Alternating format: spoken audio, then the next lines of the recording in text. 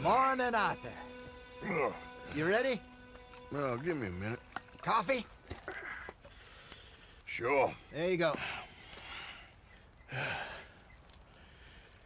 So, what's your plan? Well, we'll see if we can track him, but we might need to lay bait to draw him out. Bears like fish, obviously, but they also have a sweet tooth. A lot of fellas bait then shoot from the trees, but I prefer to hunt on the ground.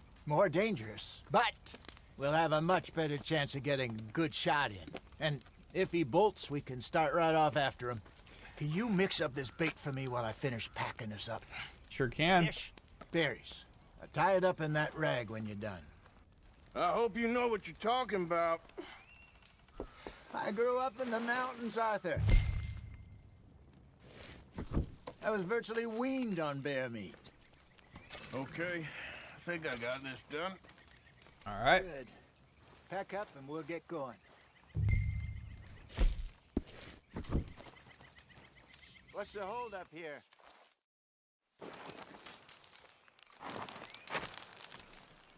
Okay, let's go. How would you deal with that as a person who offered asylum and is rejected? You gotta. It's your decision to. You have to manage your own anxiety on that, diligent. Um, if a person rejects asylum from an abusive relationship, you have to trust that they're making the right decision for themselves, or that there's some reason that you don't understand for why they're doing that. Um, this is why it's important not to get over involved in other people's relationships. You can you can be there for a person who is the victim of abuse. You can provide emotional support. You can encourage them to get help. But ultimately, if you offer asylum and they don't do it, you you aren't responsible for that other adult. There's probably a good reason for that. So if at that point you get worried, you can't expect a person who is in an abusive relationship to take care of you for your anxiety about them being in an abusive relationship. That's just further making problems for them. So, as much as people want to help, this is what makes abuse so terrible. This is why if people shouldn't abuse other people because it creates these awful scenarios. But if a person rejects that asylum, there's nothing you can do. Uh, that's that's their decision. Down by the water. That's where I saw him last. Okay. How's that horse treating you? Uh, potentially shelves, absolutely yes. You know, I was in this area with Bessie years ago. Who's Bessie? Really? I didn't know that. I imagine you still miss her. Every day. Did you two ever think about getting out of the life? Uh, we did briefly. You don't remember? Guess you were still young.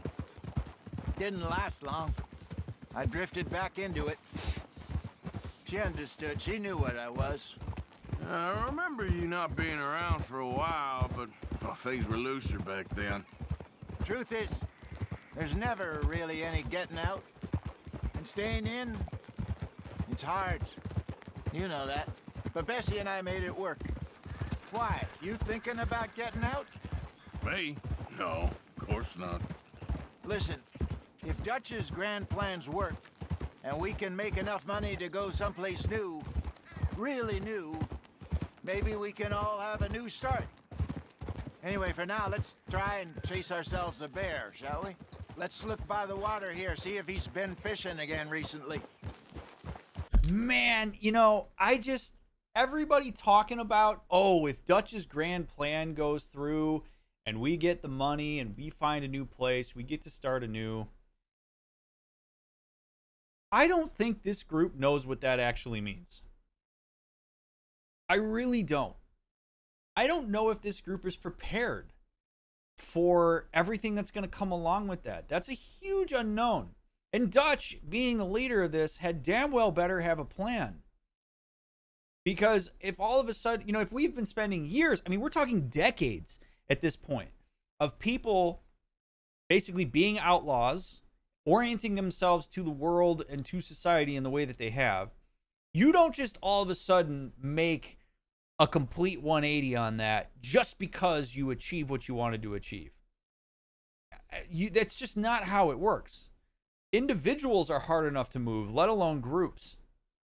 This you're asking this group collectively to give up what they've known for decades for something that is just dripping with unknowns and anxiety.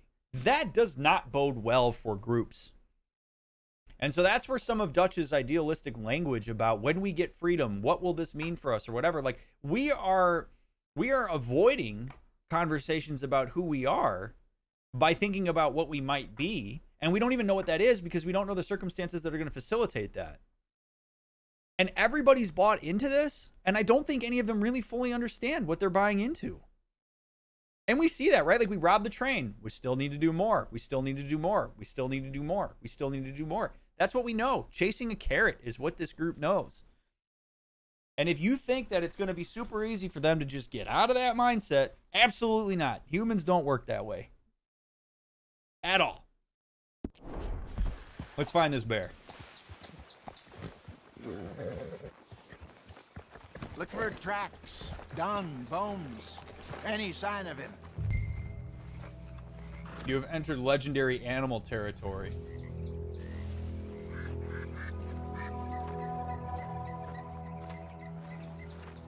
Got tracks over here? Well, there's some paw marks here, Hosea. They sure look big enough. Ooh, they Let's do. hope it's him. Can you tell which way he went? Yeah, he went this way.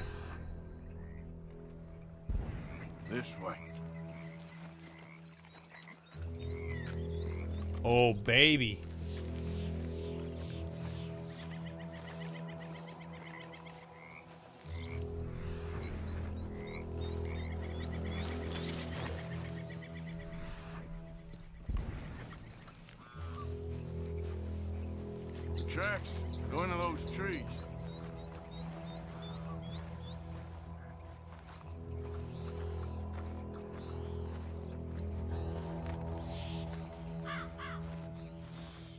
Hope I got a big gun on me because I got to shoot a bear. I don't think a bow and arrow is really going to get it done.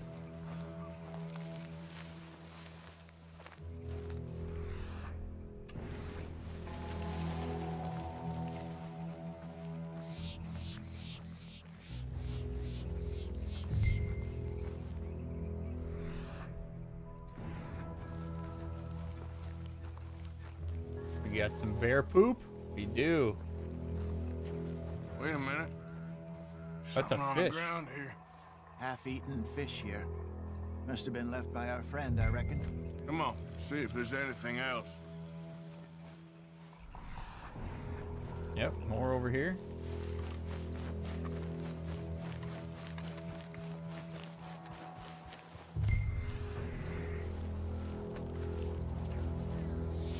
Something else on the ground, just here. There's shit here. Watch your step. Looks real fresh. Reckon he's got to be close. Let's keep going.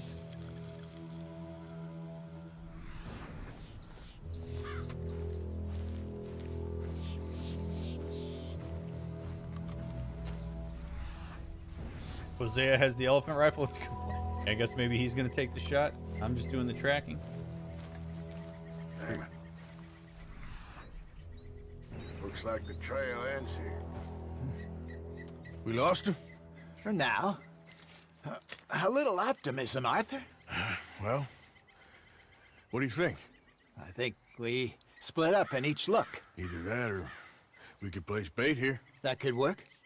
Which you think?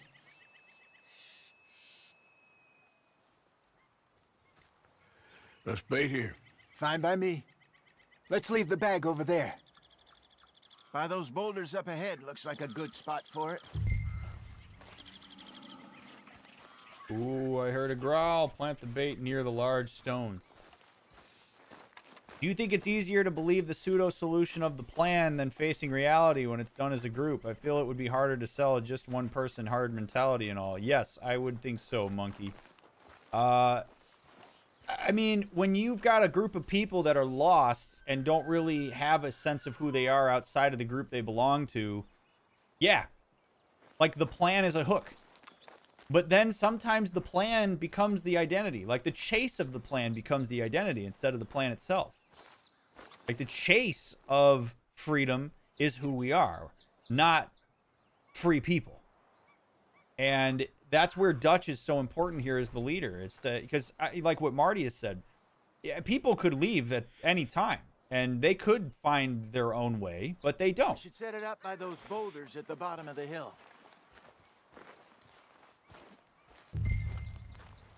All right, hold B to open the satchel. Bear meat. Let's go ahead and set it down. Now we wait. Go to the rocks. Wait for the bear. Okie dokie. A thousand pounds, you say? More or less. Big scar down his face. Hey, did that bait look okay to you? I think so. You're the expert. Ready with your gun there? I'm good. You okay? You seem nervous. So do you. I'm fine. Let's just take a look at that bait. Sure. Come on. We only just said it, Hosea. I know, but we need to do this right. What do you got me setting it for if you got high standards, man?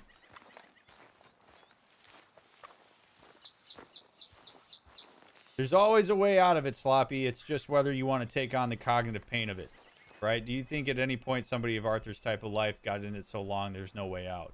There's ways out. You just sometimes it's easier to know, go with what you know instead of what you don't know, and that's a really hard proposition for folks. I mean, think of it as like a person who has been in a job for a long time that they can't stand. There is the chance to leave that job and find something else. It may not be exactly what you want. Uh, you may have to rebuild a bunch of stuff, but the option is there. A lot of times people will take what they have because they know it's a known quantity. It's something they can anticipate. They know what it means. They know the, who they are relative to it. Cutting that loss and going elsewhere is a lot scarier for folks than people think.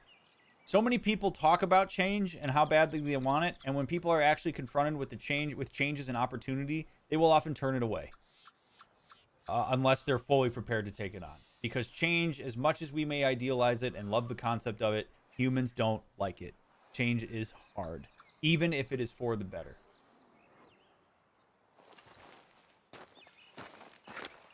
Give me a hand here. Got your knife? Oh shit! Easy. It's too close. What the hell is this? Shoot the bear.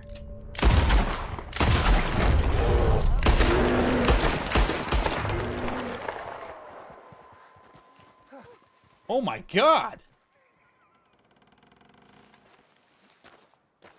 Over here, Arthur. You're fine, old man. Of course I'm fine. It's, it's nothing. Nothing at all. Thank you. I think.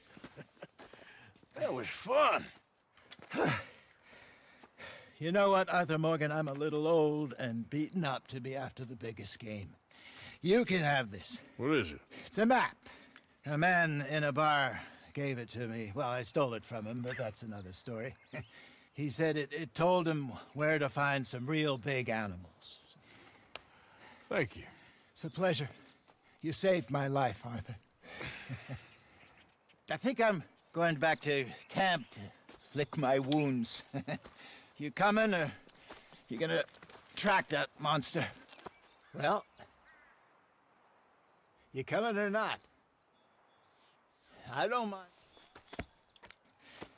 I'm coming with you. Let's get going then.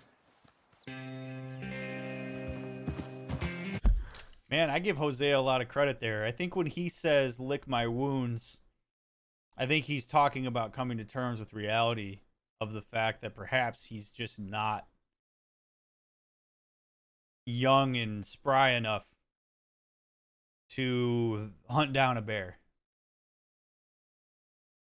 And I actually give Hosea a lot of credit here for saying that, right? For recognizing, you know what? I don't have it in me anymore. I, I think there is real um, courage in some ways in people admitting that. It's okay to admit that aging's got your goat. That maybe you just don't have it in you like you used to. And I think some people view the reality of coming to terms with that sort of thing as giving up. Or his weakness. It's just development. And instead of Hosea being stupid about it and saying, no, no, I got this. I'm fine. I'm blah. He's like, you know what? I got to come to terms with the fact that this just isn't for me anymore. My life's in a different place now. I got different stuff that matters to me. And I'm going to give this to you, Arthur. You do with it what you want. I'm going to go figure something else out. That's, I admire that. I really admire that. He's willing to take it in the chin realize that how how scary facing that bear was, and says, "You know what? I got other stuff I want to do with my life. I don't need to be doing this." That takes strength. That takes real character. And I think all of us can learn a little something from that. I mean, I'm all for pushing through and trying to accomplish your goals and stuff. But when the reality is that you're just not there, you just don't have the skill set, you've aged past your ability to do something like this, it is okay to admit that and figure out what to replace it with. And that's what my man Hosea is doing. Good for him.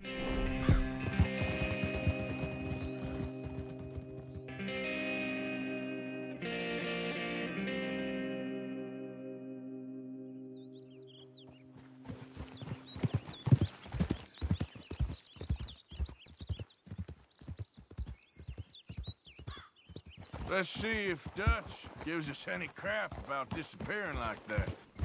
I don't need another we gotta be out there making money speech. We were just out scoping a lead. He doesn't need to know it's a big furry one. Well, thanks, Arthur. I probably owe you one. Don't worry about it. I need to head out to Emerald Ranch soon. Look into something. See you later. That is super interesting. I'm telling you, man the amount of stuff that comes out in just tiny little linguistic things. That reframe there says so much about Dutch in the group. Because we're talking about Arthur and Hosea here, guys that have been with this gang for a long time. And when when presented with the frame of this is something that we're doing for our own self edification, they immediately think, oh, Dutch ain't going to go for that. And then as soon as Hosea says, no, no, no, we'll reframe it. We'll, we'll say that we were chasing a lead. That's in the spirit of the group, the betterment of whatever it is. That's what Dutch will be okay with. It shows us that dissent, self indulgence, is indeed perceived as the antithesis of the group and its survival and how you belong in it. So autonomy is not good for the group. Chasing leads for the benefit of the group is. Dutch is expecting that people basically lose themselves into the group, yet Dutch differentiates himself from the group as the leader. You got to be real careful of shit like that. I, as the leader, get to be separate of the group, but you all are part of the group to be absorbed and to not have any self, like, not have any autonomy within. I, I don't like it. I don't like it. And it comes out in that tiny little exchange between Hosea and Arthur. I mean, you got to watch for that stuff. What are the frames that make things we do palatable for other people?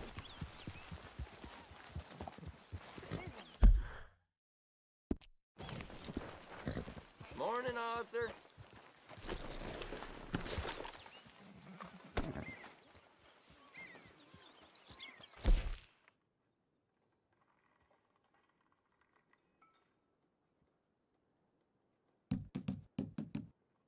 Where's my hat?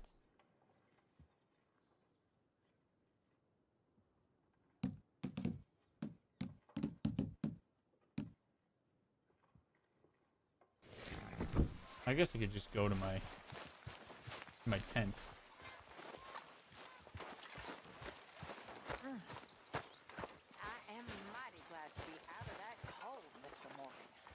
Me too.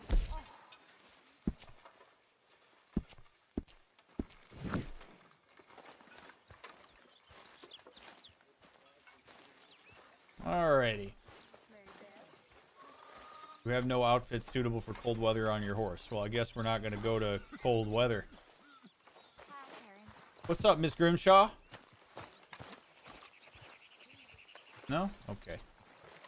Nobody wants to greet me. All right, where are we going? Let's go.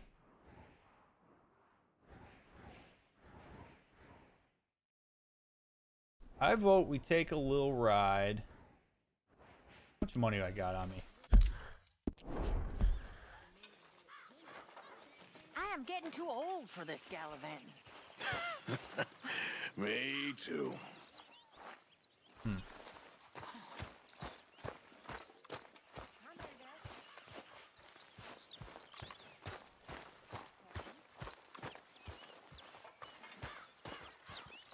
Ah, Mr. Morgan. You seem chipper? Well, where there's life, there's hope, my friend. And? We've been thinking about our problem all wrong. All wrong. That's all. Meaning? All in good time, my friend. All in good time.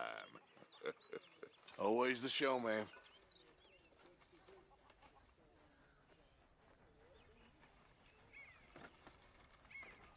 Anyway, I won't disturb you. Whatever you say. Morning to you. Good morning, Arthur. Interesting.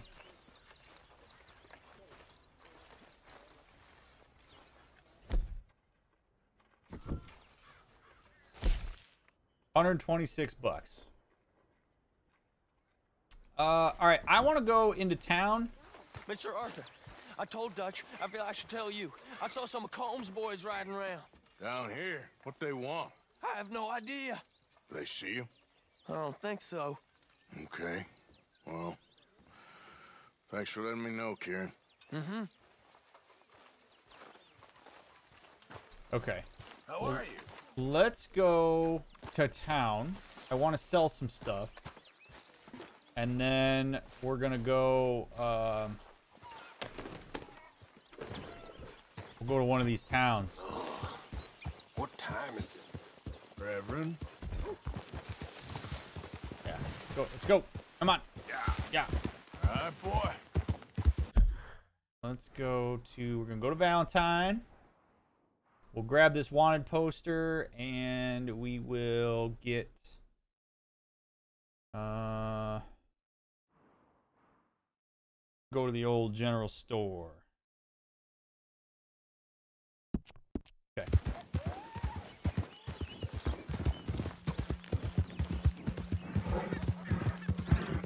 By the way, chat, thank you all for being here. I appreciate you taking some time on your Monday night to hang out for this bonus stream. It means a lot to me. If you're watching the VOD right now, uh, thank you so much for watching the VOD. I appreciate if you take the second to like the video. It helps with the algorithm, helps with discoverability. If you think this is a series that more people should come in contact with, please share my stuff. Here, friend. How you guys chill? Thank you so much, friends, for being here and for supporting what I do. Make sure you follow me on Twitter, Instagram, and TikTok. Those are down in the description. And as always, if you enjoy what I'm doing and you feel inclined to assist the stream financially, memberships and tips are greatly appreciated but never required. Your presence is what means the most to me. Alright, general store. Oh shit, it's our friend the veteran. Hey, what's up, buddy? I want to say hi to him. Hello, mister. Hey, buddy. Hey, mister. Mister. I never learned your name. I never did. You're like a brother, but I didn't learn your name. And I said to myself, Mickey, you never learned that fella's name. Now, you'll never see him again. And you'll be sad. Like when your puppy passed. Because you slept on it. Hmm. What's your name, mister? I'm Arthur. Arthur? Arthur? My uncle's name was Arthur. Uncle Arthur, we called him, on account of his name. It's a fine name, a strong name, like a king. You could be my king, Mr. Arthur. Eh, yes, you could. Well, I don't know about that, but I love that. We called him Uncle Arthur on account of his name. I like that guy. Come on, man. You can talk to him. He's a nice guy. Hey, boy. You can tell he just wants to connect. I like it. Johnny found a bag of gold coins in a ditch the other day. All right, let's get back in. Arthur is king.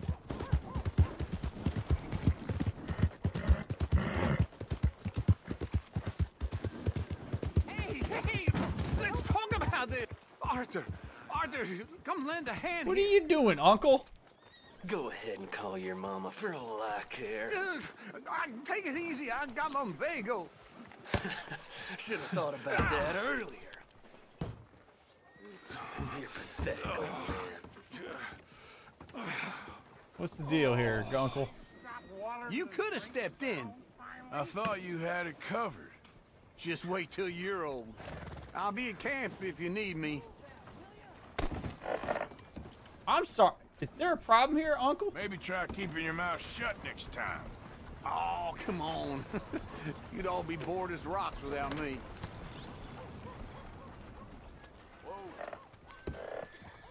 Mister. Howdy. I can't clean up all your messes, Uncle. Boy, And if you know you got lumbago, you shouldn't be starting shit. You're mad.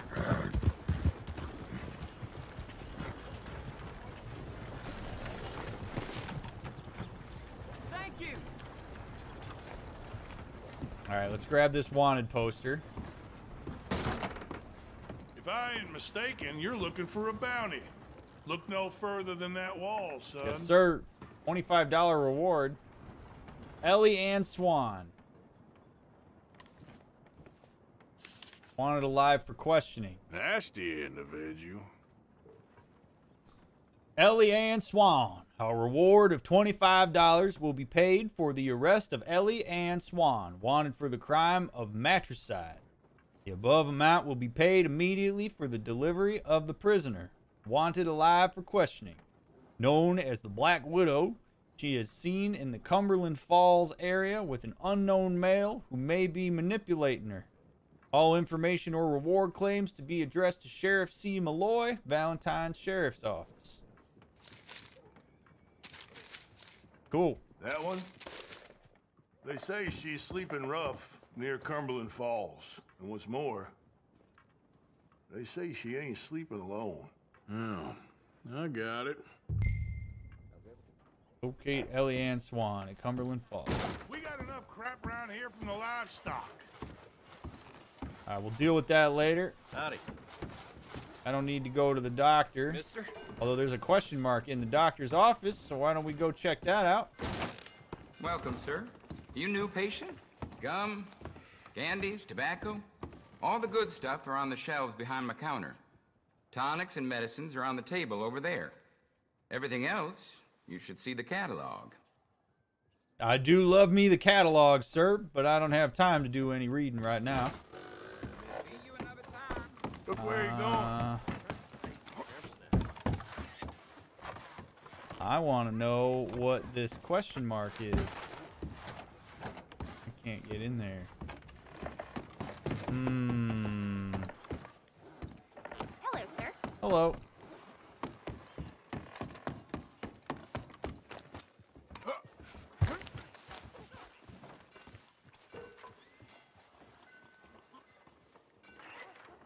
What are you doing, sir?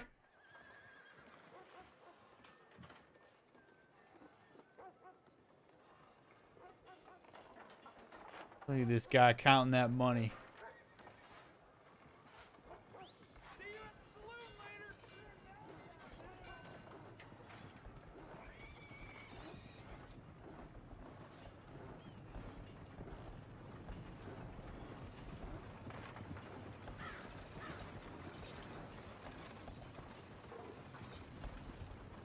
Found a hidden operation. You can now rob the shop's side business. Oh. I don't know that I feel too inclined to do that. Not right now anyway. I'm not I'm not hard up for cash. Good to know though. Good to know. You got some nefarious happenings going down at the medicine place. Let's get to the general store. I need some stuff. I need to sell some stuff. Back for some more provisions. found a. Howdy, sir. In. I do indeed. I'd like to sell. Righty. Let's see what you're selling. But you don't want to buy my stuff? Hair pomade, gun oil. I don't want to sell you that. Coffee. I don't want to sell you that. I don't want to sell you any of this shit. Sir, I'm to need you to buy my other stuff. I do declare that I would potentially like to buy a shirt if you don't mind. Everything in that is available for purchase. Thank you, sir.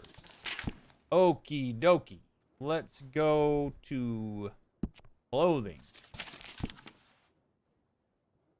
Let's take a look at shirts.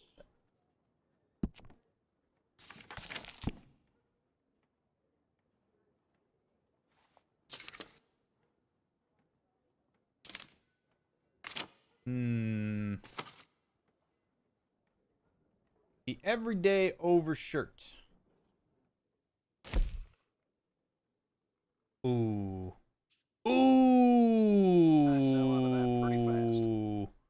We got a purple shirt. I do declare. Our dress shirts are fancy. And we don't carry old or unsightly patterns that aged or infirm still cling to, assuming they remain in fashion while drifting into some dim-witted tirade that exhibits their failing faculties. Our shirts are made for fine trade, for no better barometer to a man's character exists than his shirt.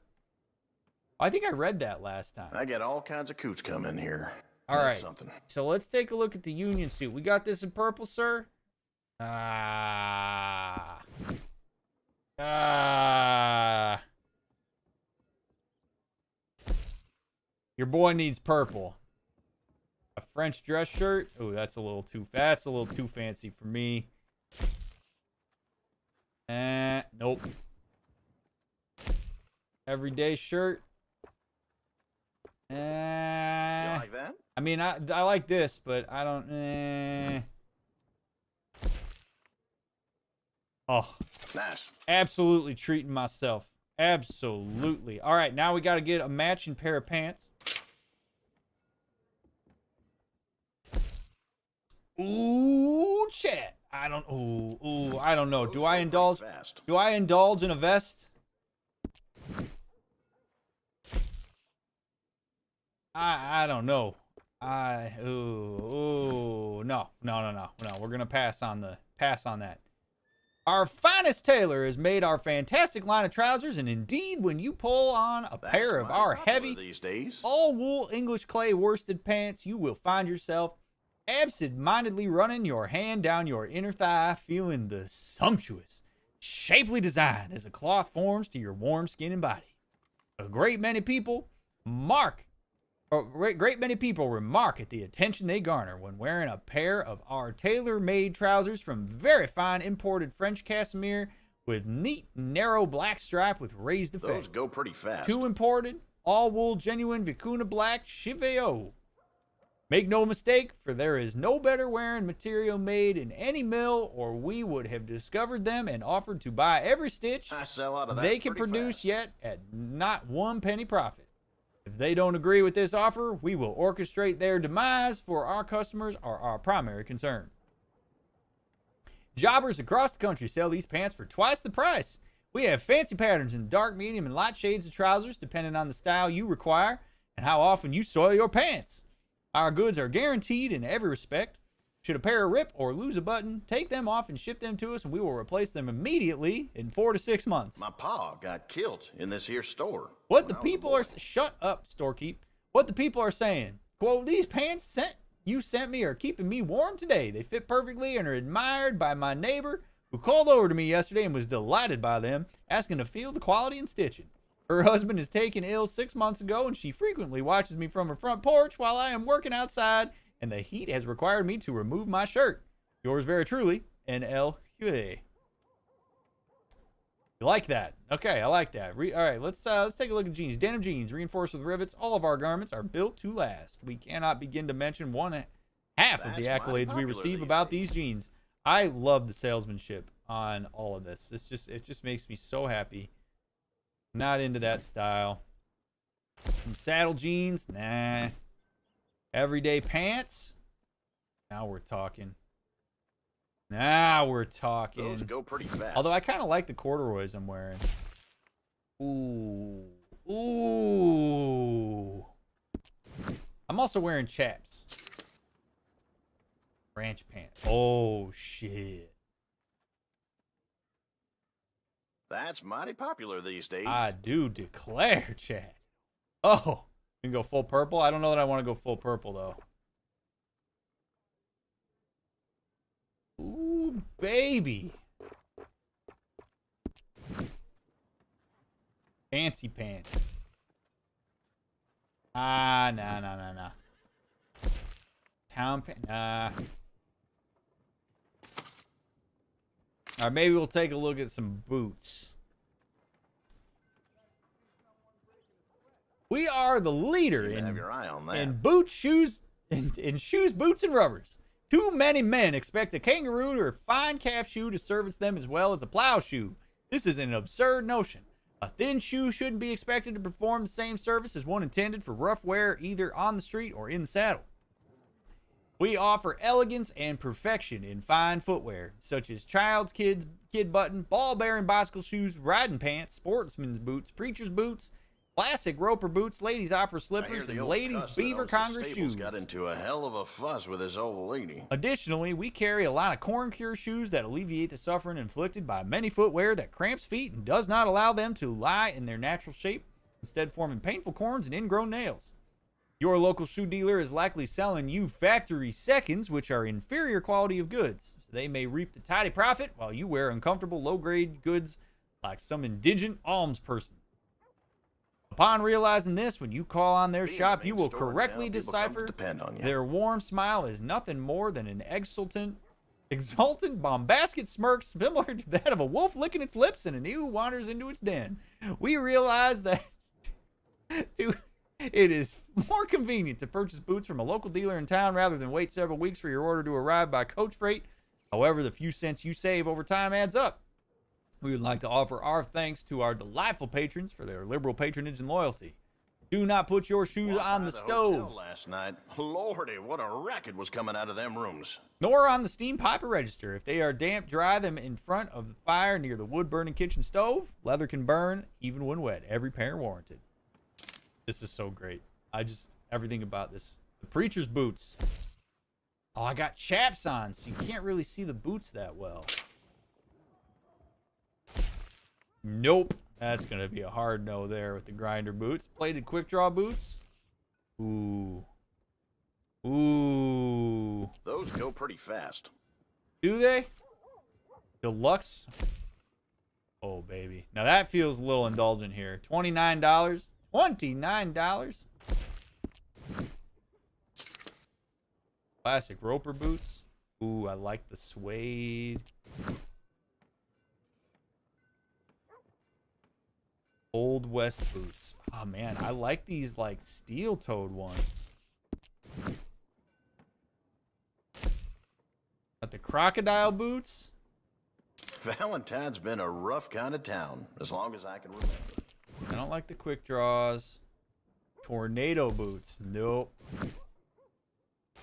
Sleeked riding boots. Ooh, we got like a like a purple, 1495. That's popular these days.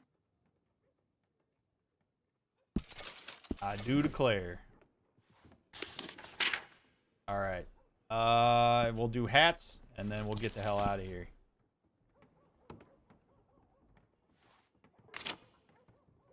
Bulldogger hat. Ooh, in purple. Those go pretty fast. Y'all are getting me with this purple. It seemed a little worn though. Ooh, the flat cap.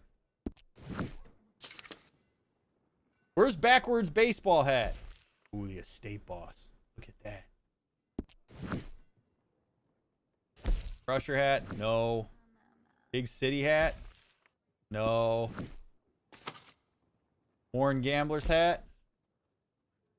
I do like that. It's It's not a bad looking hat. That's mighty popular these days. I don't know if that quite fits my aesthetic. The Paragon Town hat. Nope, too fancy. Too fancy. Big Valley hat. Oh. You like the look of that one, huh? Yes, sir. I, mo- I most certainly do. Ooh, the Big Valley hat. Y'all. This is important, man. We got to look good. Military scout hat. That's not bad.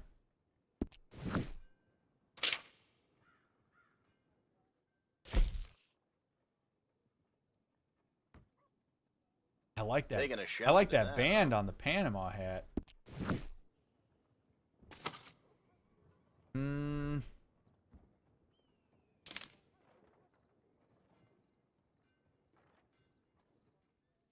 Nope. All right, I'm thinking. Nope. I really like the Big Valley hat. I kind of like the flat cap though too. I sell out of that pretty fast.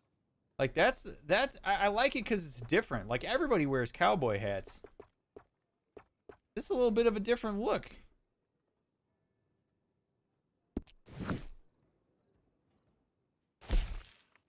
Oh, this Big Valley hat is so nice though.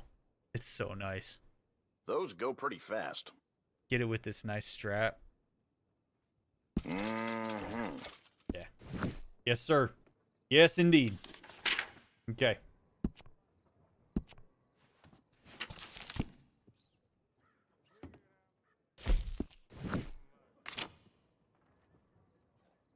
Yes, indeed. Fine leather suspenders.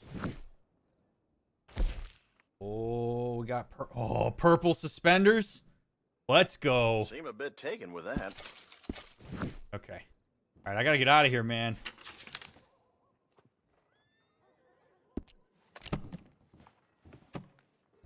Can I get you anything else? Look around. Oh, that is. Come on, chat. Come on.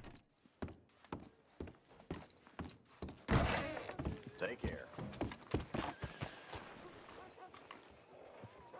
I mean, this is this is a man who knows how to get dressed.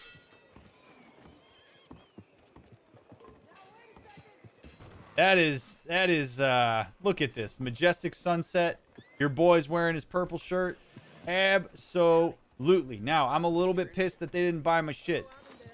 I'm gonna have to figure out where they're gonna buy that stuff. Because your boy needs a little bit of money before he goes out. Uh, now, perhaps... Uh, I don't know if the doctor's going to buy that stuff. I don't know why the doctor... If the general store ain't going to buy it... Who's back? Sure, what you got? Yeah, see... I don't know who's going to buy that shit.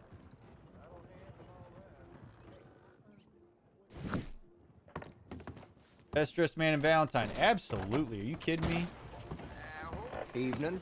I'd hire me. We got a gunsmith over here. Mm, do come in. How do you do, sir? Oh, wait. You're that fellow who had to fight with Tommy outside of Smithfields? Yep. People are still talking about that fight. I ain't. Eh, fair enough. Neither's Tommy. Anyway, how can I help you today? Uh, I would like to.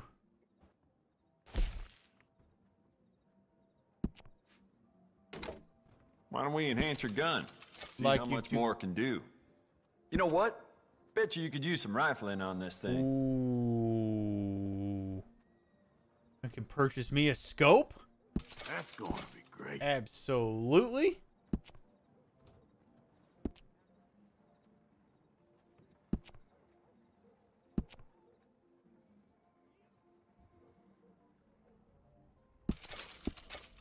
Oh, yeah. Oh, yeah. Oh! Oh, chat. Oh, chat. Do I indulge? Yes, I do. Let's go.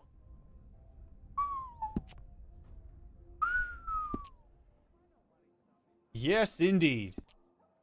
Yes, indeed. You want to make this really yours? Give it a personal engraving.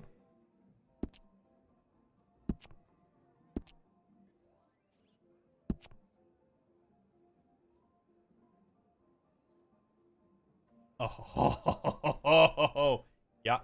Yep. I would like to purchase that red. Yes, indeed.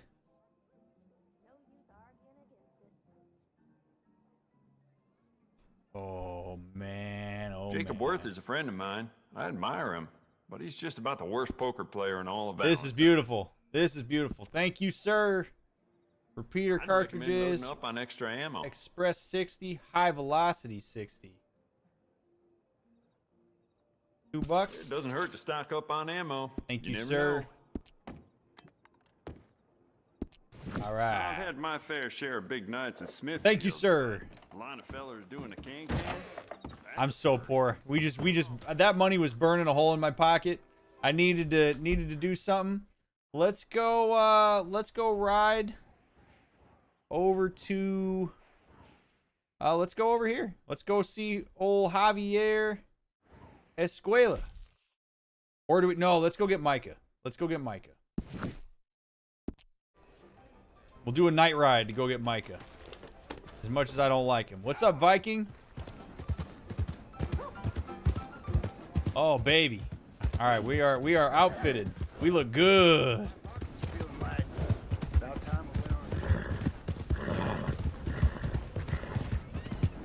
Micah got himself in trouble. Let's go get him.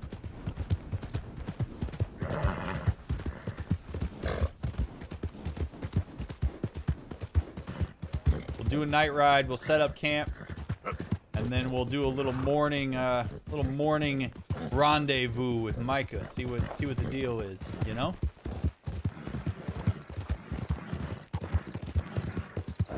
One more time, chat. If you haven't had a chance to hit the like button on this video, please do so. I have a sense that we'll have a bit of analyzing to do here with Micah. You best clear off. We got a problem?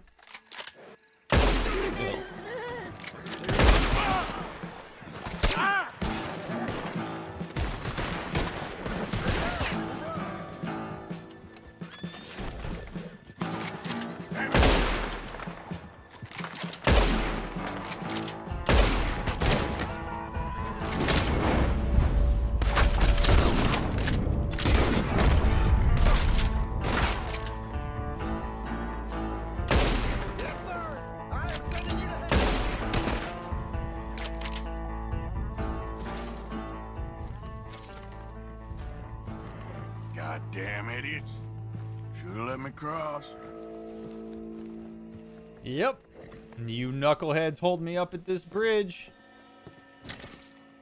That's a problem for you. I needed to use my new gun anyway.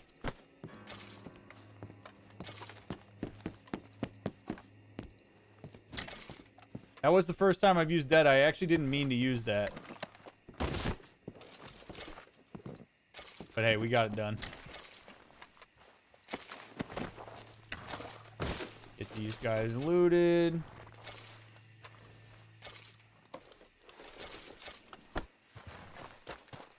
Anything I can get out of this? Steal their gear? Not like they'll be needing it. Oh shit, their horse died. Search the saddlebag. Oh shit. We got here? Potent miracle tonic, some gin, some salted venison. Good shit. All right, fellas. Thank you kindly for blocking the road so I can make myself some money. Come on, Steve. Let's go. Yeah. I don't know how those guys knew that I was, unless I'm that recognizable to them.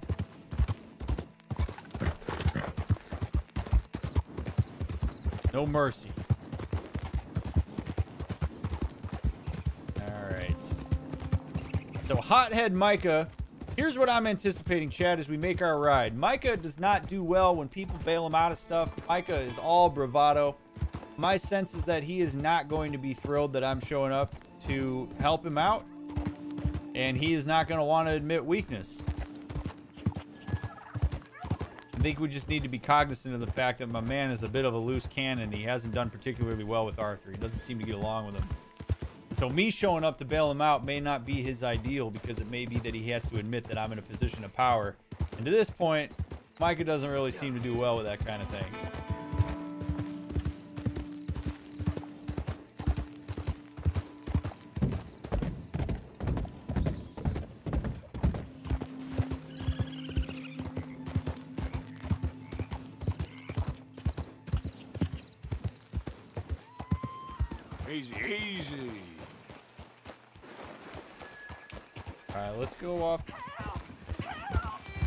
Shit. You better shut up that pretty mouth.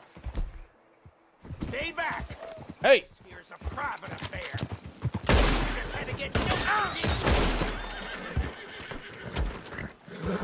Oh shit! Oh shit! Come back here.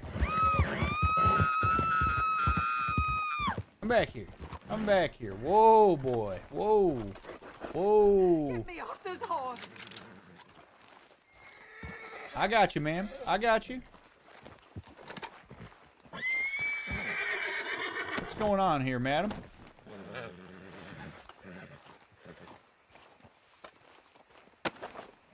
Jesus, Arthur. Please help me out of here.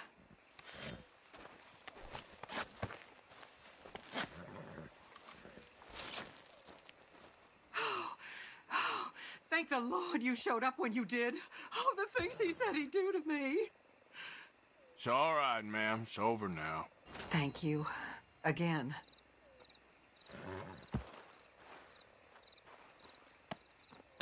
Yeah, get out of here.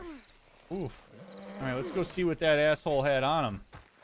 Uh, I don't know what my honor is, and to be completely honest, I don't really care. Um, I'm just playing how I'm playing, and whatever honor shakes out to be, that's what it shakes out to be. I don't have like a, I'm not going for a particular type of honor. If people like the decisions I make, cool. If they don't, well, too bad. But yeah, I'm not gonna be, I'm not gonna be checking my honor throughout the game. I'm not worried about it. We'll know my honor based on how people uh, respond to me. Yeah. Good night, Blushing. Alright, I want to set up camp on the other side of this river.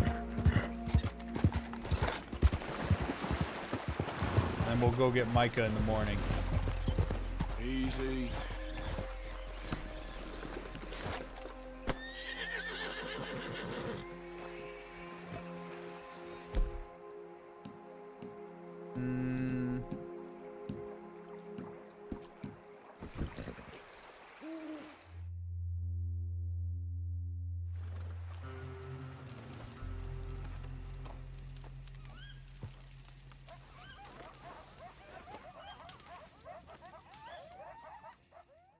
Good night, Arthur.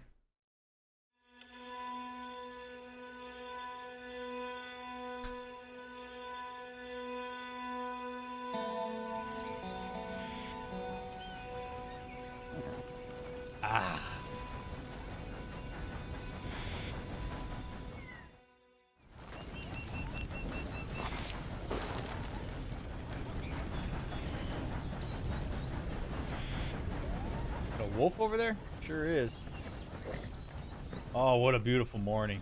Holy cow, man. Okay, boy. Let's go. Let's go. Let's go get Micah, friend.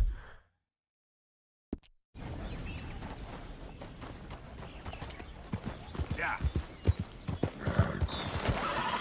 Easy, boy. Easy. Easy.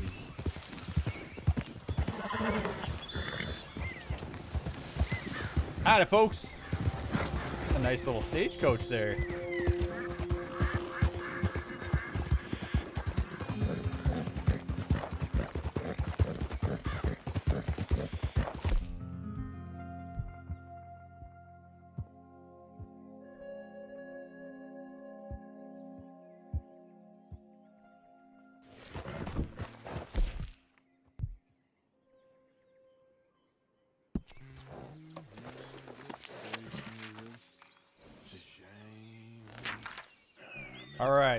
Love Dutch like a father, but in many ways, I love Hosea even more. In the Stillwater jail, I He's kind and fair and like a human being. Dutch is something else. This bear was also something else.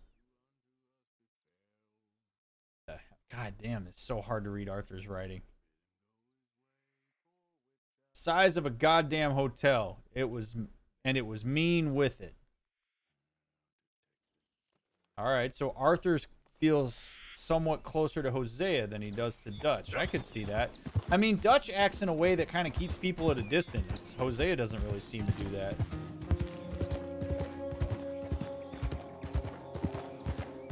I could believe that, Ellie.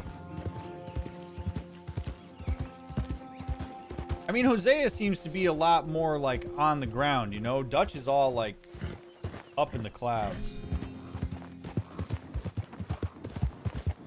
All right, Micah, I'm coming for you, brother.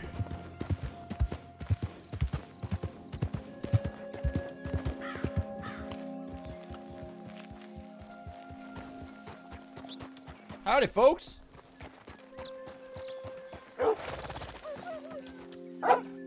There. Can I help you? Just taking a look. We're with the Appleseed Timber Company. Head foreman. We're getting started on this site, but we should have some fine Big Valley lumber for sale very soon if you're interested. I'll keep that in mind. We should be further along by now, but what can you do? I mean, look at these dolts. There's not a brain between them. Listen, you got any supplies for sale? Food, medicine? Starting to run low. I can't spare anyone to go into town, not the way things are going. I'd be happy to pay premium for them.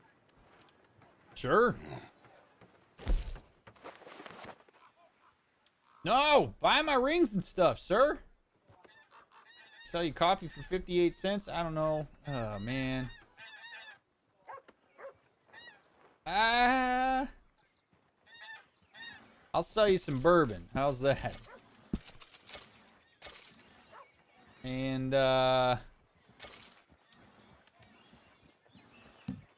Uh, sorry, sir. I think that might be all I can spare. sorry, man.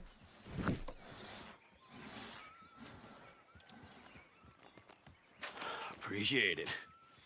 That should help keep us going. Sell supplies to the foreman for profit at the Appleseed Timber Company. All right. Y'all seem all right. Ain't gonna worry too much about them right now.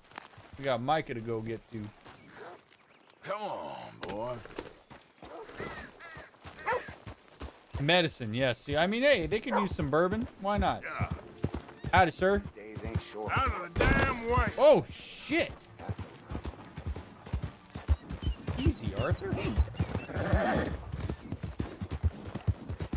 Nope, not at all, Cricket. Just because Hosea is like a father figure to uh, Arthur doesn't mean he has the right to triangulate himself. Not at all. It's so the reason that what Hosea did is problematic is because Hosea is the one that initiated it. I mean, Arthur saying, "Hey, Hosea, can I get your opinion on something?" That's that's better than Hosea saying you need to get over it. No, just because he's perceived as a father figure doesn't make that better. Uh, in fact, we sometimes afford family too much leeway with in terms of like violating our boundaries and stuff. I need assistance! Please! Sir, please stop! Oh, I beg you! What's the matter, man? What can I do you for? Oh, I'm in bad sorts here. I took a little jaunt and have managed to get myself hopelessly lost. I am staying in Strawberry. If you could just guide me back. Can't think of a good reason to say no. Oh, thank you, thank you, sir. We're going to Strawberry anyway, Well, so after you. What possessed me to come out here, I'll never know. come on, sir. What are you doing out here anyway? Clearly ain't your natural habitat. I uh, no, I'm just visiting. Uh, I, I'm from New York City, actually. You don't say. Oh, yes. There was some talk at the country club about this burgeoning little resort town called Strawberry. So I thought it might be quite the trip to see what all the fuss was. Perhaps make a few investments while it was still undervalued. Turns out I was made the fool. Not enjoying it then? It's a town of splinters, if you could call it much of a town at all. I'd hardly stepped off the carriage and I'd taken in the whole place. I suppose some might call it charming. Let me tell you, charm is not worth much these days. You show me a timber frame shack and I'll show you Broadway. And meanwhile, Okay. you have this mayor, a quite intolerable blowhard. A little bespoke woodwork, and he thinks this is a cultural hub? The man's completely deluded. Well, I should give him some credit. He must be quite the salesman. He did get me out here after all. More fool me. Now I'm tromping through the leaves in the muck with some cowboy. Uh, no offense. Little taken. Wait a minute. Why would why would Arthur be upset about that? That fits with what Arthur says about himself. Arthur thinks he's some piece of shit lowly cowboy. This guy says I'm with a cowboy. You'd think Arthur would say like, "Yes, sir. I know I'm a piece of shit." He doesn't say that. He's like little taken. He takes a little offense to that. What? What? That doesn't make sense. Does look familiar. Wow, we walked all of like 150 feet, sir. Come on. You're by the side of a main road. Although I guess if this guy's like, if he's some like super rich guy who generally has people navigate for him, maybe I can see how he'd get lost here.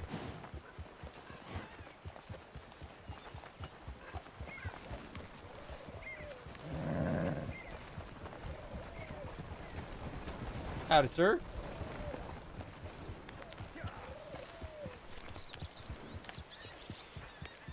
Well, I don't know why Arthur would care much about what this guy has to say, but I mean, we're helping him out. He's got his fancy pants. Oh, are we close to town?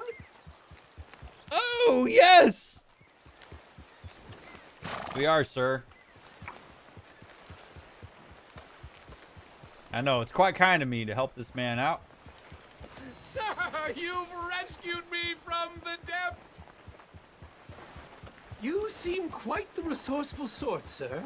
If for some reason you plan to spend any time in Strawberry, you may want to look into that gabbing mayor. Something is definitely off with him. All right. I'll keep that in mind. Maybe stay in town for now, huh? A rock and a hard place. Thanks anyway.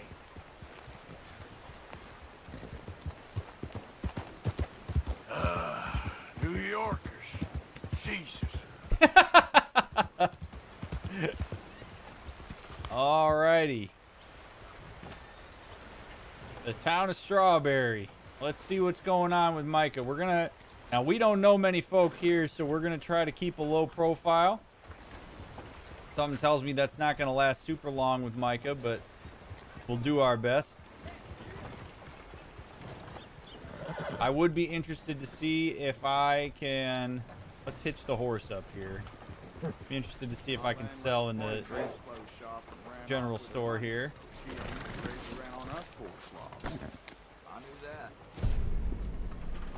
Okay.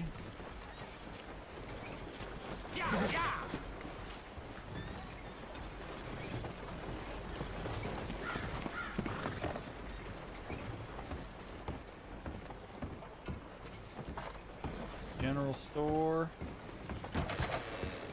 Doesn't seem like I've seen you before. Howdy, sir. Now, if you really want to impress the mayor here, I'd pick up some grooming supplies for yourself and a couple of things by the door for your horse. You'll be turning heads. Apparently, those Blackwater robbers are still on the loose. They got that whole town on lockdown. Well, let's hmm. see. If you want to impress the mayor, you ought to. Hmm. Interesting. Why do I care about the mayor? Thank you.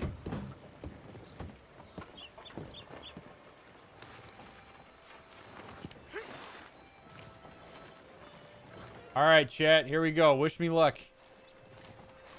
Coming up the old jail.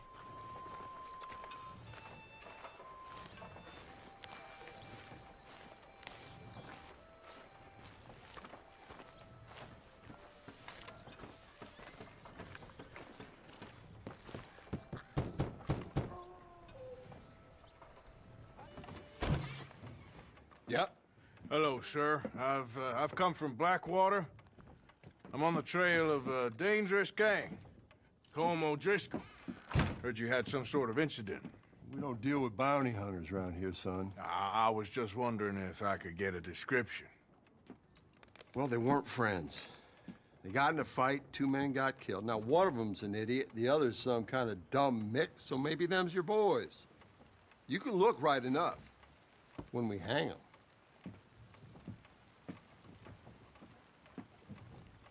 Thank you, Sheriff.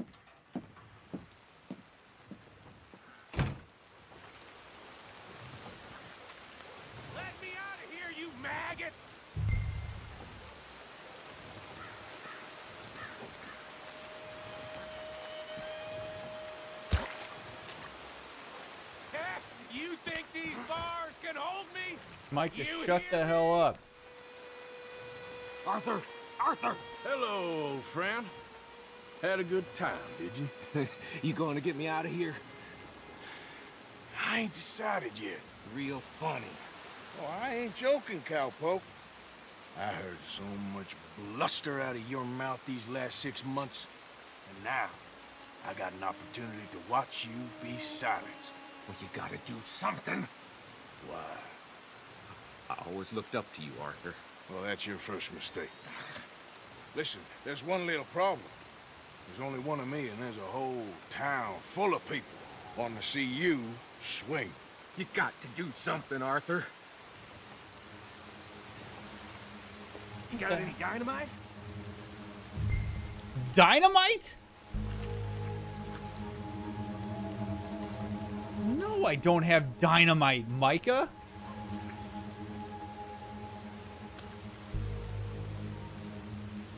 This wall just needs some good forcing.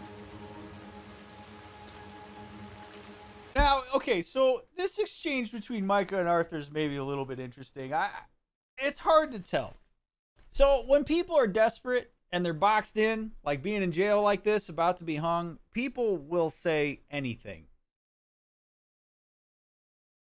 in order to get out. Like uh, you would be amazed the things that would come out of your mouth if you're in this dire of a situation. You will tell people whatever you think they need to hear. And Micah saying, I always looked up to you, says a little something I think about what he thinks Arthur might think about him. Which is that maybe he thinks that Arthur thinks that that would be a compliment. But there's two reasons why it wouldn't. One, Arthur's self image doesn't really align with that, which is why he says that was your first mistake. And two, I don't think Arthur has much respect for Micah, so why would he care if Micah looks up to him? And I guess three, he would also look at it and say, like, okay, well, you're in jail. Of course you're going to say that shit because I am in a position of power here to get you out. Now, I will give Micah some credit for not being Mr. Bravado.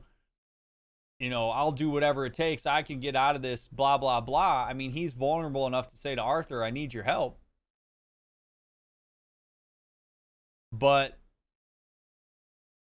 it's interesting what we learn about what Arthur and Micah think about each other. It doesn't seem like they think much of each other at all. I think Micah's just saying that because he's in a position where he needs to get out. All right, let's figure out how to get him out of here. Uh, I mean, dynamite's not the way. Mm, am I able to go back in? Let's see what happens if I go back in. Maybe I can sweet talk my way in. Steam donkey over there still works.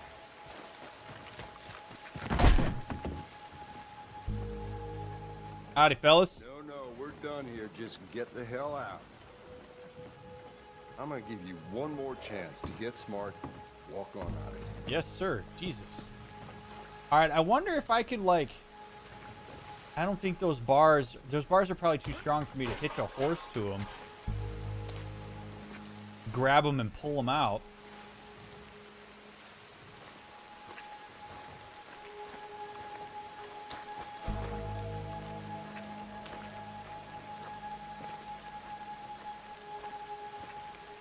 All right, let's think.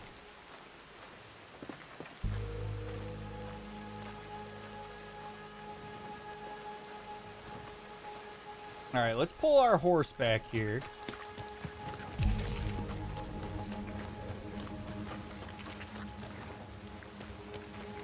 Boy. Love that we're doing this in the rain.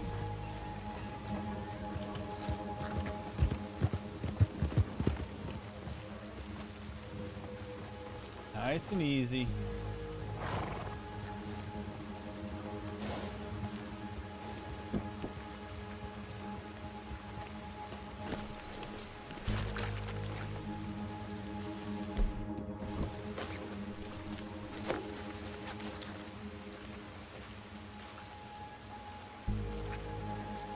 Draw a carbine repeater from the horse, horse cargo. Okay, so that's not gonna work. Dynamite just doesn't seem right. I have dynamite on me though, don't I?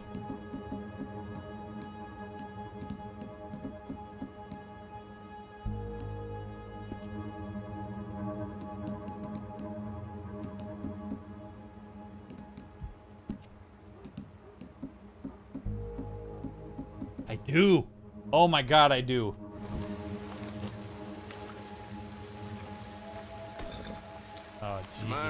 Step back a bit. We're gonna do it. I need to get Steve out of here, though. Steve, get out of here. Steve! Steve! Oh, God.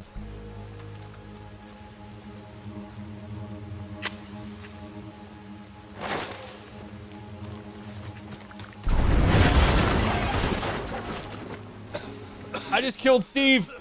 I'm so sorry, Steve. Come on. Oh my God! He wasn't O'Driscoll.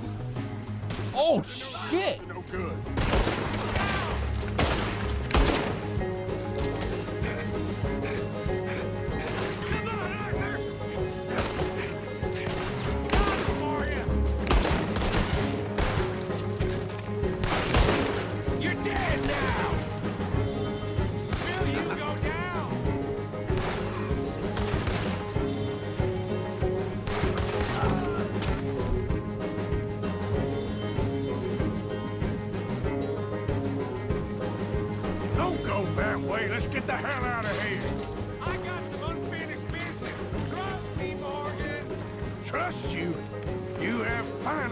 Lost your damn mind.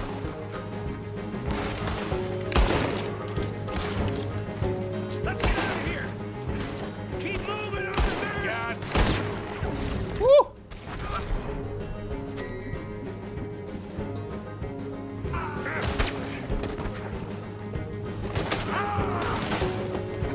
Goddamn me. I should have put my bandana on first.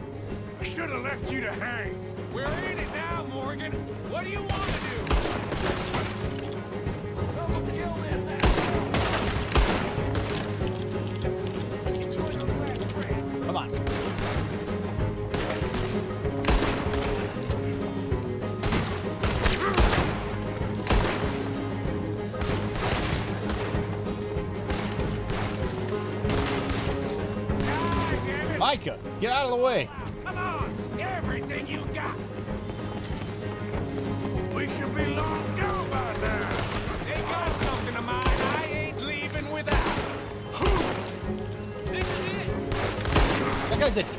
Oh my god.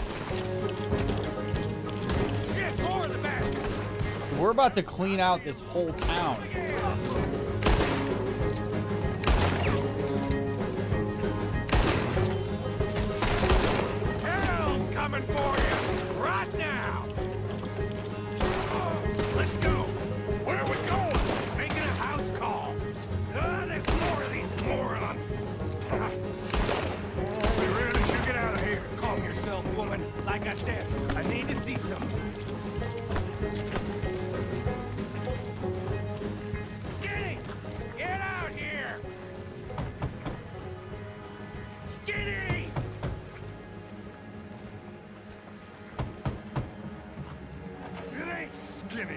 Micah. Norman. Oh. You always was a letdown, you fat sack of crap! Excuse me, man at Arthur. What are you doing, Micah? Hello, Maddie.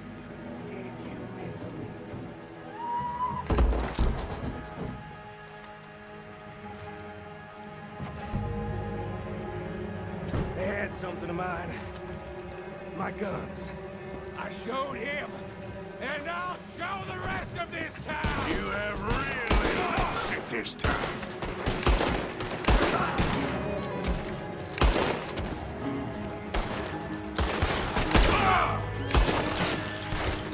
Come on, This way! If I don't go down that easy! We, ah. we could have been long gone, but no! You have to shoot the entire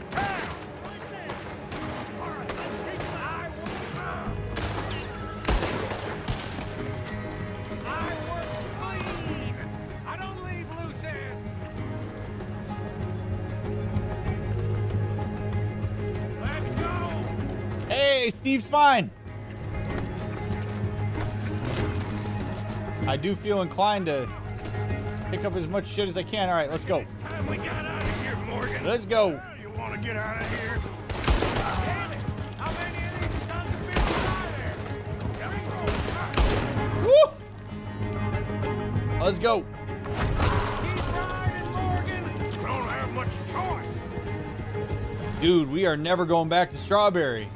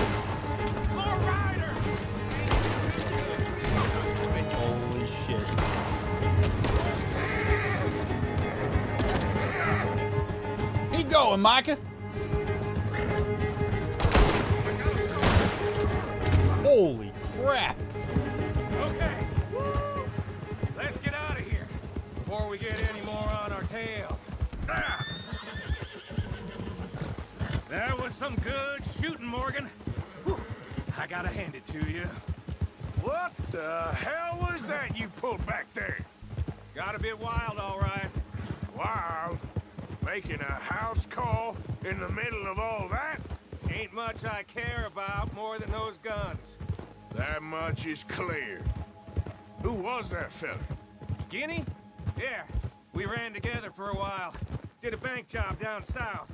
Didn't end well. I saw how it goddamn ended. He was gonna let me hang. I'm starting to wish I had. And you owe Lenny, too. If he hadn't found us in time... Yes, you will all be thanked profusely, I promise. Yeah, well, you're lucky Dutch has got your back.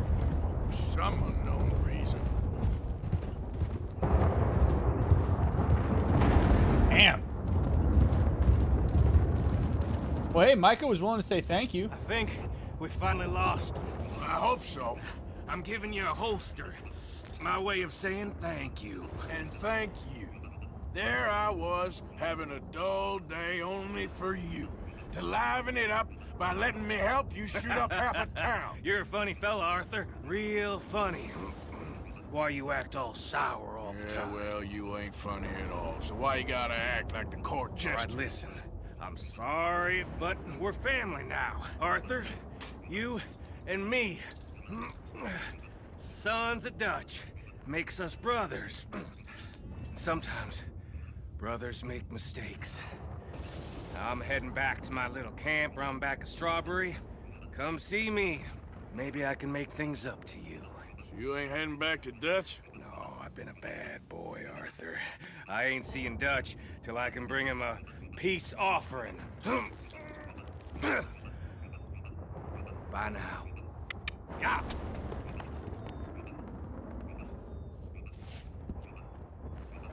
That's interesting. That he doesn't want to go back to Dutch until he can show that he's got something to offer?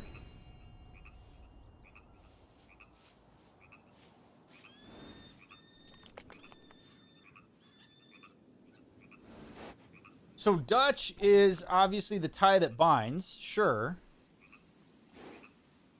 I, I mean, I can't decide if that's the if it's that Micah has enough insight into the group to know that Dutch is not gonna take him back because he messed up, or if he just doesn't want to be part of the group.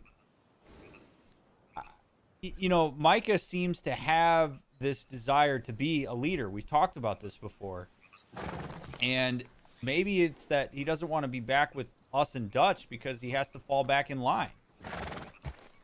I mean, it's very much similar to the whole idea of like after you leave home for a long time, then you go back home, you kind of slip into your old role in the in the hierarchy. I think Micah would deal with the same thing. So if Micah's had a chance to go out and flourish a little bit and find something for himself and define himself as being outside of the group.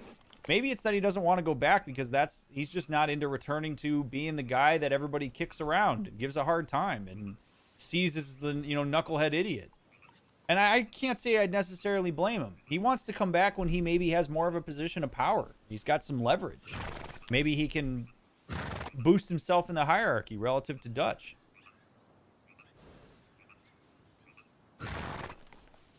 It's hard to know. But I actually appreciate that Micah was willing to say, like, thank you. Like, he wasn't a dick about it. He acknowledged that he made mistakes. I mean, we got a little bit of a tender moment there from him. Granted, it was very chaotic what we came out of. But I give him a lot of credit for owning up to it.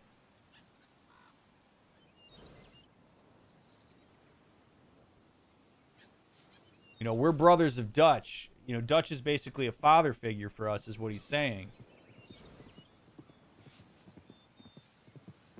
But, you know, at what point is our indebtedness to Dutch going to get us in trouble?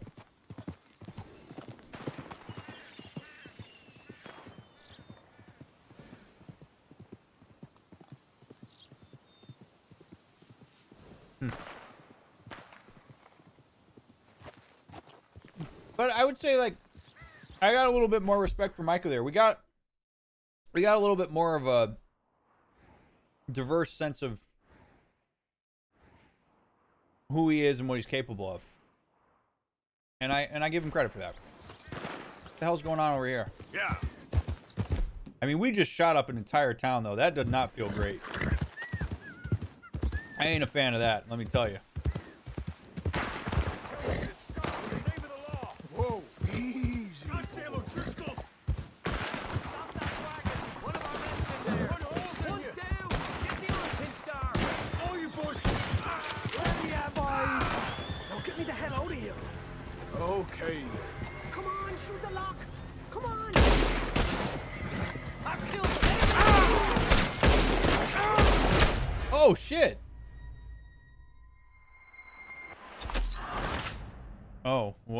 Bad. I didn't realize I was getting shot there. That's fun.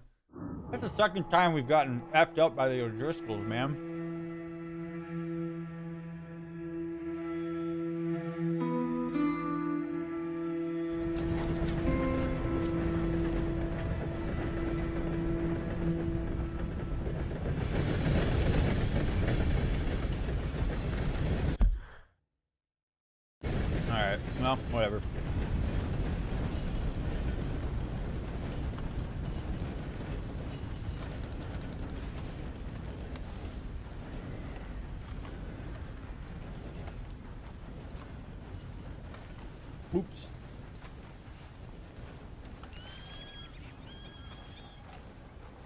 Oh, what's up, K girl? Hmm. By the way, I'm eating candy corn. I freaking love this stuff so much. Oh.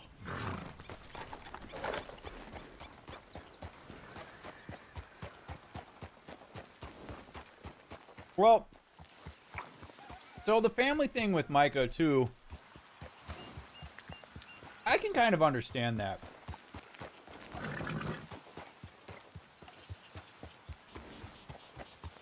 Like I think the gang would say that we're all family. I don't I don't know like him saying the brother thing, I don't know if it's manipulative so much as it is just sort of making an observation about the fact that like if we're going to be in the same group, this is just how it is. We're brothers. You know, you bailed me out. I mean, I made the choice to bail him out. I didn't have to do that. So,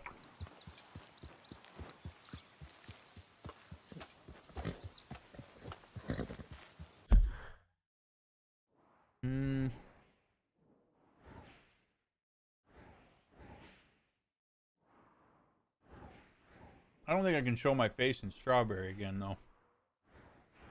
That just doesn't seem...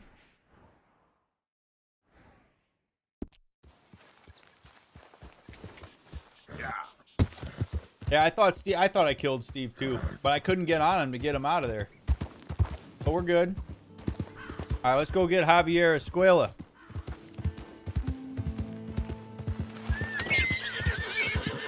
There we go.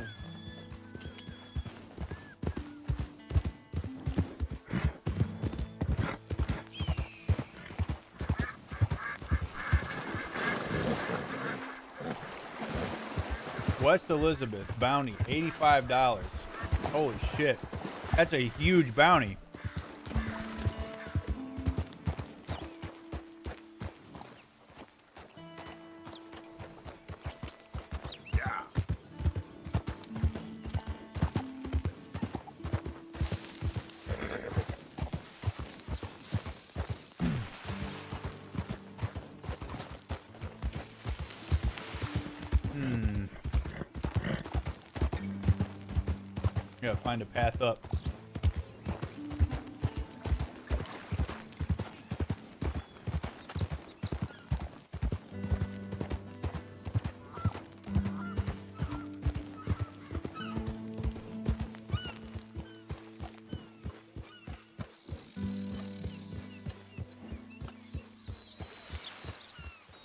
Friends. How many? A lot. Uniforms everywhere. You see Sean? No, I don't think so. Damn it. Where's Trelawny? Who knows? Just keep your eyes open. All right. Where is that little Irish bastard? I'm not quite sure. Trelawny's off trying to find out. Has anyone been in the Blackwater, see how things lie? Place is crawling with Pinkertons, bounty hunters, ah. pictures of Dutch and Hosea. Ah, well, we got a lot of money sitting in that town. And that's where it's gonna remain for now. Why haven't they hanged Sean, I wonder? I think he's bait. Well, they want to trial him publicly. Gentlemen, Sean is being moved up the upper Montana, then to a federal prison out west. Damn. Well, we can't be rescuing people from some federal prison. We either rescue him now or we cut him loose. We're not cutting anyone loose. Of course not. Ike Skelding's boys are moving him to a camp nearby before handing him over to the government. So, I guess we need to stop them before they get to camp. Charles, why don't you head up on the north side, and then we'll head up on the other side of the valley and meet you. That way we have them in either direction. Javier, Josiah, come on. Let's go see.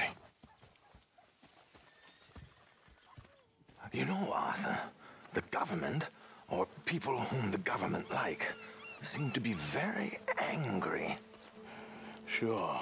Well, we'll rescue Sean and then we'll get ourselves lost, good and proper. It's a big country. I hope so. Boy, we're putting ourselves at massive risk to get Sean out. Massive. You know, but when you're in this kind of situation, like, it, I think it is easy for us to say, all right, well, we'll cut and run. That's too much for us. And, you know, in a lot of these scenarios with groups where you got to bail a guy out and it puts everybody at massive risk, I think it's very easy for us to ask ourselves, is it worth it? And I think you have to look at it from a group dynamic and cohesion standpoint.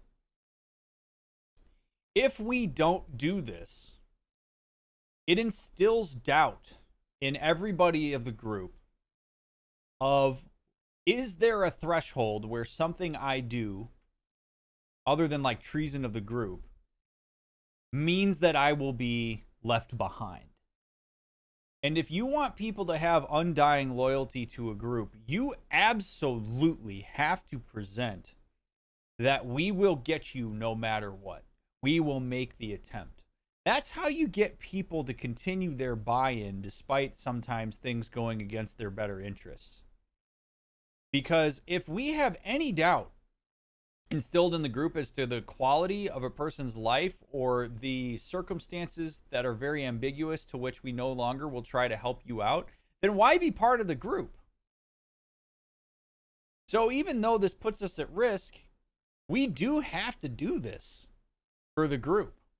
Or we make a pact between the four of us that we ain't going to go get them and we're going to make up a story about how we tried. But you've got to do this if you want everybody to be in on this to the extent that they need to be in order for us to be successful as a group. So we got to go for him. And that loyalty is massive and it's what it's what makes our group tick. Follow me. Let's see if we can track down this boat. Keep your eyes open for Pinkertons. They got patrols out all over this area. Yes. South of the river, West Elizabeth isn't a very welcoming place right now. It's definitely as bad as we feared in there, Arthur. I keep hearing about this woman, Heidi McCourt. Why aren't we moving? Some young mother, they're saying Dutch murdered on the boat. Oh shit. I don't know about that. I wasn't there. Bad day. And no money yet, it seems. I hope you know where that is, at least. Dutch and Hosea say they do, but it's trapped in the town. There, look. I think that's our boat. All right, gentlemen. Follow me. Another ferry, huh? Keep your guns away until we know it's Sean, okay? I know what you two are like. You think they can see us? If they can, we're just three fellas out on the trail. Act natural. We'll be fine. So, you've been gone for a while. Much as I love dodging the law and sleeping in the dirt with you derelicts, I do have other business to attend to. What happened in New York? You know how life is. Never a straight road anywhere. Especially with you. Nice to know I'm missed, though. Have you run out of people to rob? Oh, we'll never run out of people to rob. But without me, you'll not find the caliber of victim that I find. Maybe. anyway, we should keep it down. Come on, let's keep them in sight. You all right, Javier? You're quiet. He hasn't stopped talking since we left you in Valentine. it's the longest ride of my life. Cute, dear boy. Very cute.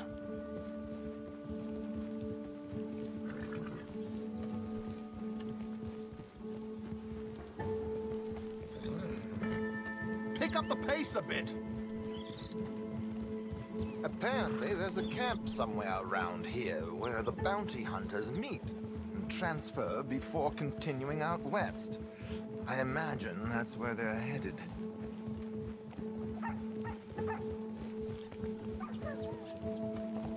Interesting because I still I don't know enough about these guys to know like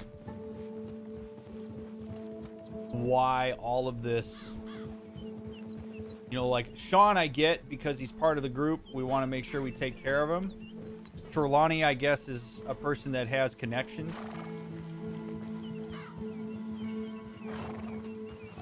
We're still just so early in understanding who these guys are and what makes them tick for me to have like a full understanding of exactly why it's so important for Arthur to be in on this with Sean besides the fact that he shares the group with us. Something tells me this is going to be Hey, intense. they pulled into shore. All right, let's take a close look. Binoculars, gentlemen? So who are these bounty hunters? I don't know too much about Ike Skelding's boys, but I hear they're a big crew, wild, built some reputation in the last year or two. That looks like Sean to me. Certainly kicking up enough of a fuss. Yep, that's definitely Sean. Oh, they're giving him a decent kicking. Well, you can only imagine the shit he's been giving them. Oh, yes. They're taking him up the canyon.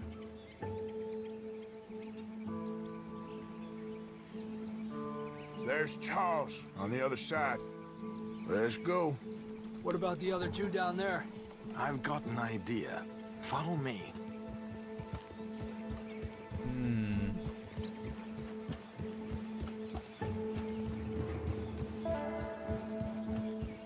Do tell.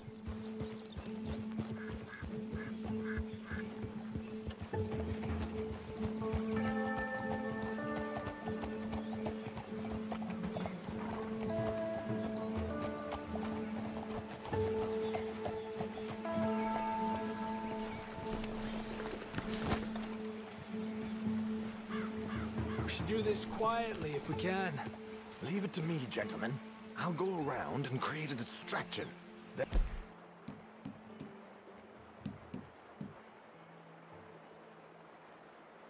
you two sneak across and do the dirty on them. Okay. Crouch down out of sight. Take out your knife. Stay here. All right, I'm with okay, you, buddy. let's move down. Don't cross until he's got their attention.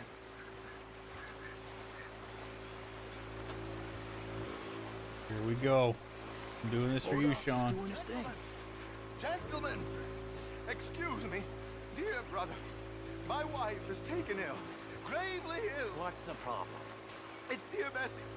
You take the one on the left. Okay, come on. Stay low. I, I'm beside myself.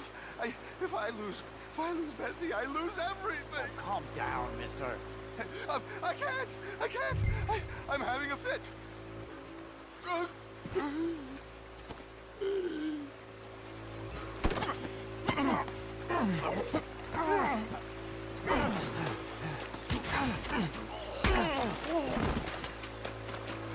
Come on, let's get up there.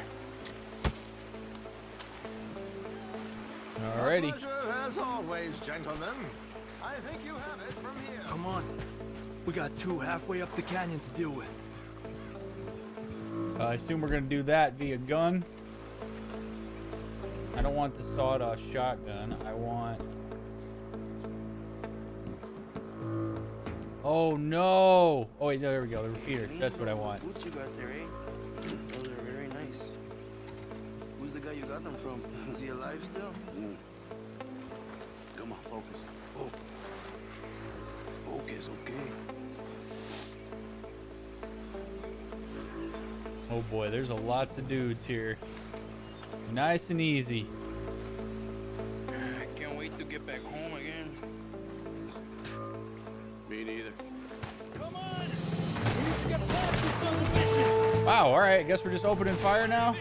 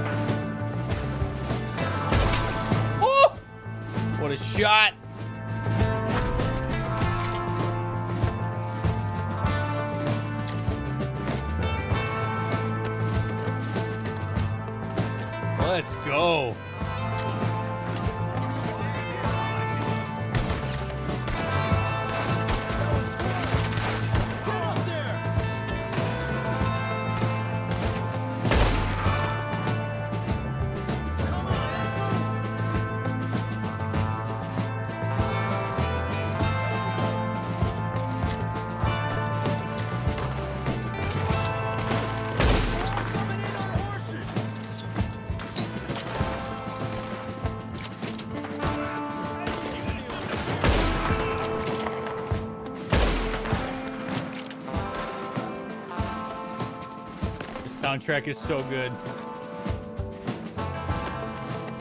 What do you got, fella?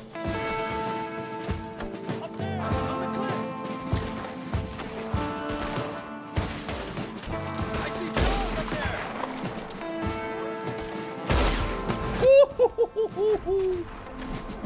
Quick! Come on, let's get up there. I'm coming, Javier. I'm coming.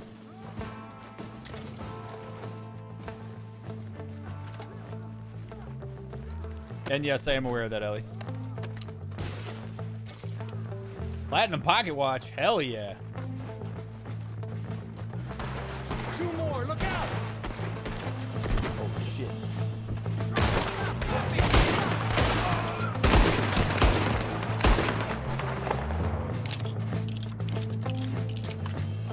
Damn, Javier.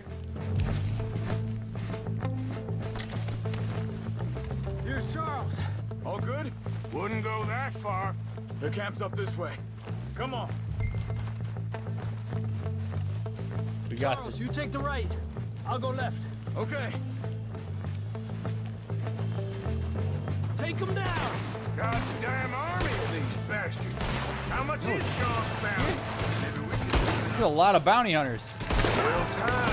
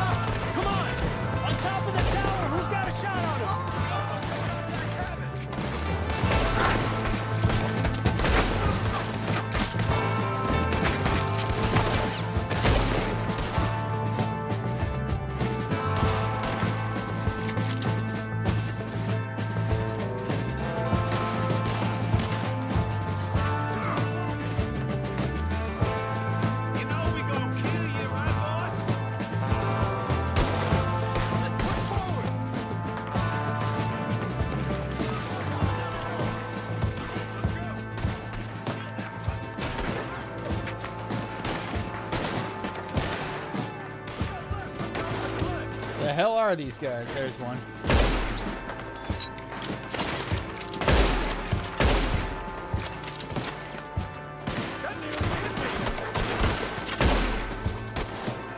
Let's go.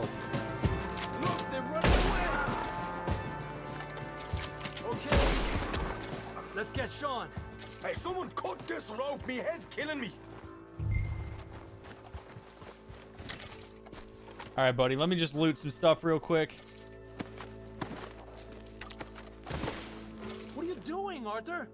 I'm looting. Just, just Sean was be here for like hours. He can wait a second while I get some, while I get some loot. All right.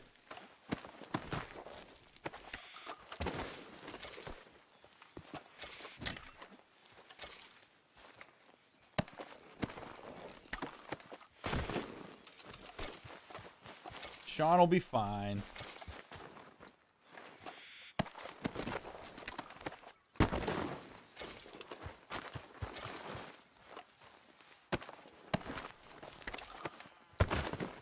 Cut me down.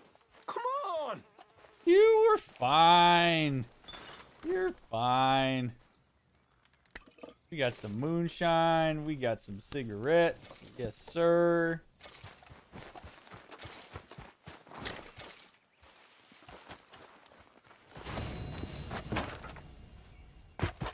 Come on. Can't go in there? Okay. I just want to make sure we got everything, you know?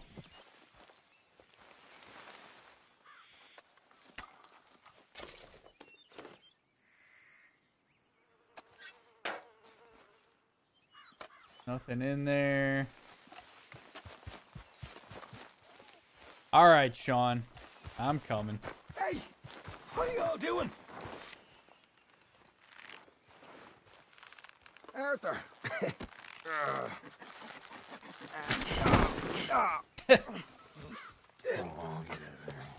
You know, you're a lot less ugly from that other angle, Arthur. Come on. Do I get a hug, Arthur? A warm embrace for a lost brother now found.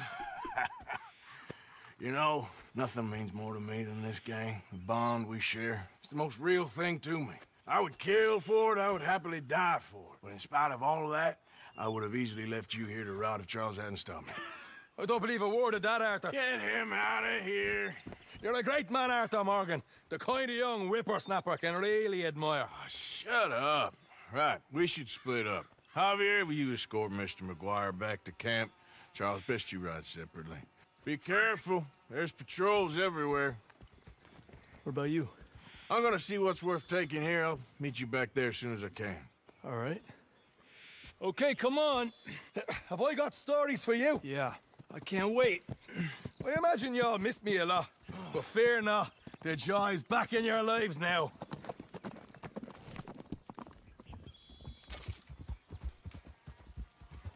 Huh.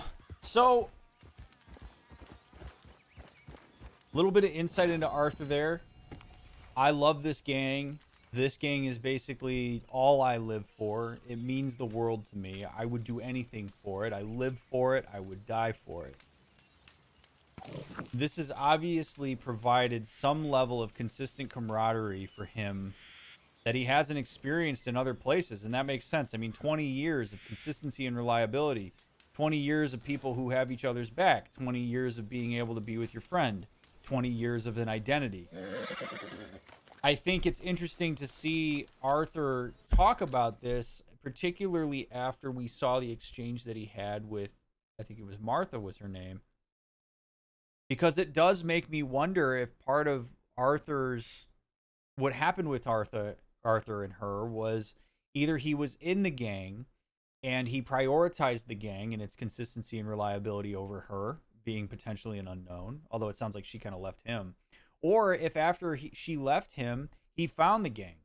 I get a sense that the gang goes back farther than that, but regardless, Arthur seems to have his identity intertwined. Mary, okay, seems to have his identity intertwined with this group in a way that's going to be hard for him to separate it. And I think that also gives us some extra insight into why Arthur might conceptualize himself as being a bad man this is a group of outlaws. This is a group that has literally defined itself as being the anti law and order. We are not part of civilized society, so to speak. And so, if Arthur, over 20 years, has seen this group as something he live and die for, is part of his identity, is who he is. This group is not something I can separate from myself, but this group is objectively bad. And Arthur has the intelligence, I think, to see what the dynamic of the group is relative to wider society. Then he basically has to conceptualize himself as being a bad man. Now, he could be good within the group, but then is good within the group actually bad because he's perpetuating a group that's bad relative to society standards? Right? So now we see good and bad get a lot more muddy.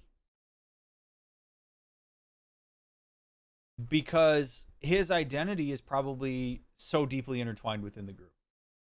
And that's the power of group dynamics. That's the power of what the identity of a of a large group does for folks. They live and die by that identity. They start to project that identity out into the world, and they have to suppress anything that's going to run counter to that. Because otherwise, you could be cast outside of the group. And if this is the only group that Arthur's ever known, you're basically asking him to have be cast out of a group that's taking care of him, and that's not great. There's a lot of depth there. Like Arthur saying that gives me a lot more information about Arthur's orientation toward the group and how meaningful it is for him, and starts to shed some light on how he sees himself. And so yeah, okay, so he was really young when Dutch found him. So he this is all Arthur's ever known. This is it. Shit. Come on. Let's go. Yeah. Get out of here.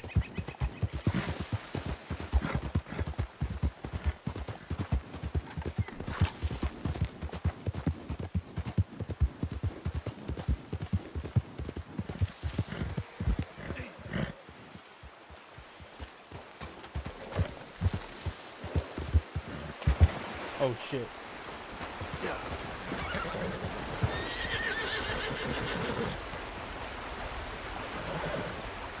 Come on, Steve. Stay calm. We're good. Yep.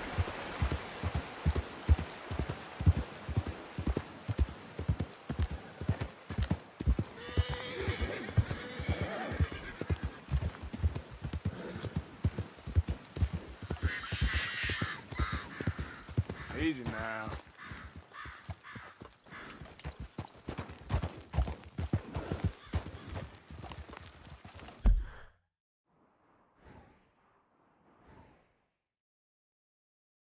Okay, let's go. Uh, let's go on a ride back to camp, and then, uh, yeah. So I think again, to, you know, to sort of as we ride back here to speak on this a little bit more, I think one of the major themes we're seeing here is self versus group identity, and when are the needs of an individual? When is self fulfillment fulfillment more important than the group? When do your own personal values misalign with that of the groups? I think there's a lot to be said for Yeah. you know, if you're going to survive in a group like this, you almost have to forego your own personal convictions. And that is kind of the antithesis to the American ideal, so to speak, right? Like the Amer- America is all about freedom to do what we want, freedom of autonomy, it's yada yada, right? Especially in this time period. Well, being in this group is the absolute antithesis to that. So this is part of why I think this promise of freedom is why it's a carrot on the stick and not something that we've achieved as a group. Because I think if we were to all actually achieve freedom and autonomy, some of us might leave the group. Some of us may decide that, you know what, I don't I don't need this. I don't I don't want to do this anymore. I don't want to live this life. And as we lose numbers, we lose strength. So Dutch almost keeps everybody together by promising that we will eventually get to a point where we are free, but we never quite get there. Because then we get to have the group intact. Dutch gets to be a leader. We get to have whatever role we have in the group. For some, that's better than others. You know? But I, I just, I, there's going to be, I think, a tension between our group belonging and our individual values. And I think the more intelligent a person is, the more reflective they are, the more tense that's going to be. And Arthur, I think, falls into that category.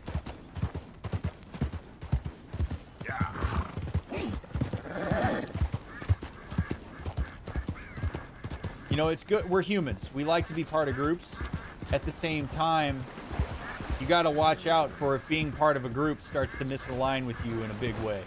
At that point, sometimes we got to Sometimes, you got to cut bait. I don't got time for those fellas. I got to get back to camp before dark.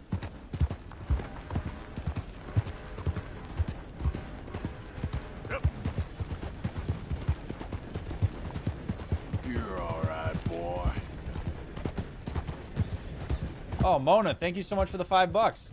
I think a lot of people resonate with Arthur's self-loathing. Is there any advice you can give to someone who wants to break out of that and be kinder to themselves? Oh, absolutely.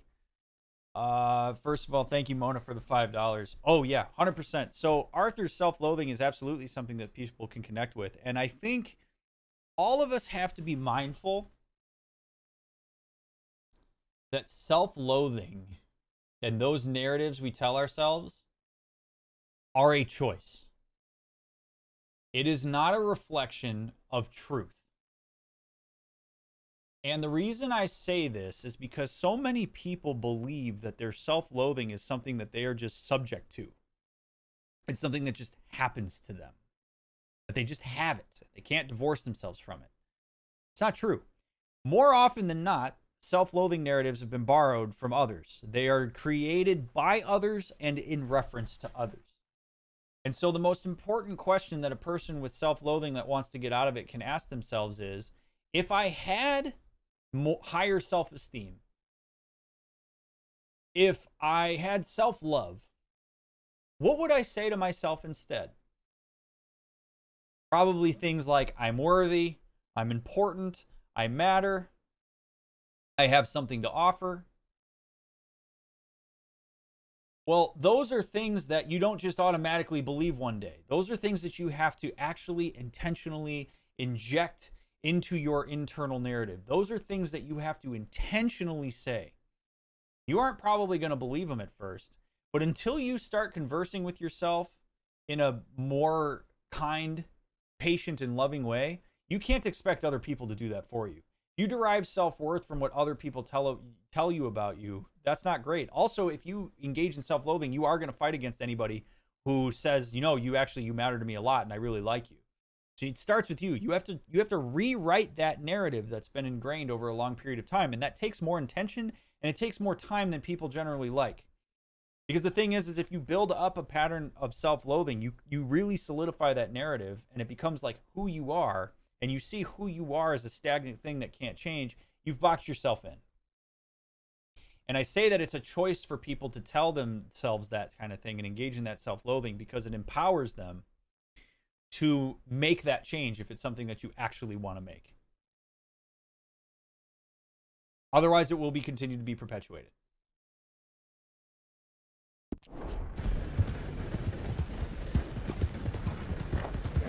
It doesn't just happen because we want it to. My old therapist asked me who's who whose voice I hear when I think about self-loathing or negative thoughts about myself. Is this something you recommend people pay attention to as well? I actually use that tactic all the time. So if you really get people into that, they will often hear that voice as somebody else's. Or it's become so intertwined that it sounds like them. But here's the thing we all learn that stuff. You do not come out into the world self loathing. That's just not how it works. You learn that. And so that means you can unlearn it. It means you can learn something else. But it does start with you. It's not easy to do, but it's important to do. You, you have to, in some ways, the fake it till you make it mantra is indeed the true here with this stuff. But yeah, if you can hear it as somebody else's, it helps you also define what's yours. Right? Like if you hear I'm burdensome and it sounds like your father's voice, right? Well, that's what your father told you. It doesn't mean that's true. But people like to get into a space where they make self loathing true and inevitable. And that allows us to avoid the accountability of making that change for ourselves if we want to, because we talk about it as if it's some sort of external force. Do you think Dutch is well aware of the fact that they aren't getting the freedom he promises? Or could he start to believe his own lies too after so long? I think it's both. I think it's both. I bastards missed me. Even you, Arthur. Even you. But it's hard, boy. I'm back home now. So everything's going to be okay. Uncle Sean is back. And don't you worry, Miss Grimshaw, you old crone. I'll keep them girls in line. Arthur! If I have Oh, Arthur! whip 'em, I will. You seem in a good mood. I am, son. I am. Let's have some fun. Tonight. Let's enjoy ourselves. We having a party? Maybe. Just a little one. Great. And don't worry about Mr. nothing, Mrs. MacGuire Grimshaw. is back. We'll have So this come camp on. running Let's like have clockwork. ourselves a party. I love you, bastards. have fun. Have lots of fun. Oh wow. Okay. So I'm not I'm not being critical of this when I say this. That's a hell of a tactic. That's a hell of a tactic by Dutch. Let's party. Our person's back. Let's celebrate. That is a um, I mean, I think it's immensely important from a camaraderie thing, but it's also immensely important because it's it sends a very clear message. Getting our people back, doing what we got to do to get them, that is a desirable behavior for the group. And from a conditioning standpoint, we want to reward desirable behavior. Let's throw a party.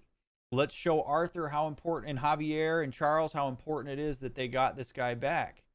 Let's reinforce that coming back to the group is something that you all should do. Let's make sure that it's very clear that loyalty to the group and not leaving anybody behind is what we care about.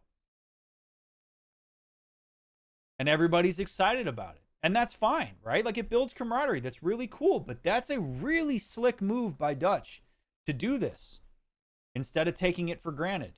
It puts energy into the group that says, this is what we want. This is what makes us tick. This is what we do. And we will do this for you too. So stay with us.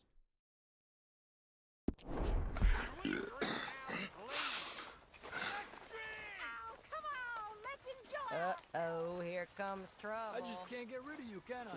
The gangers celebrating the safe return of Sean will be unavailable for other activities for a while. I suppose. You're looking lovely. Hello. If I may say so. Oh, stop it. I could have a drink. Riding with him all the way from Blackwater to here. This stupid. So, what now? Come on. How about a song? He'll be drinking till dawn now, I bet. Listen, my Oh, friend. let him have some fun. Do you know He's the been through a lot. maid? I thought you Irish enjoyed a party, Molly. I am enjoying it. I just don't need to fall over drunk with the rest of them.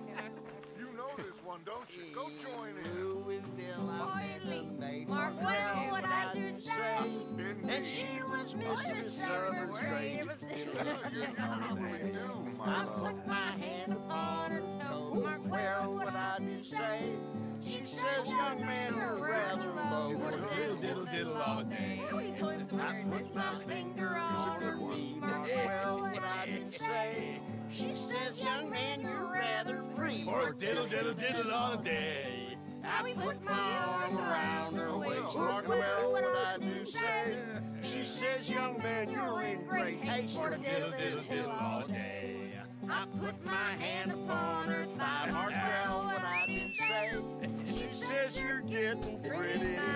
Diddle diddle diddle all day. I put my hand upon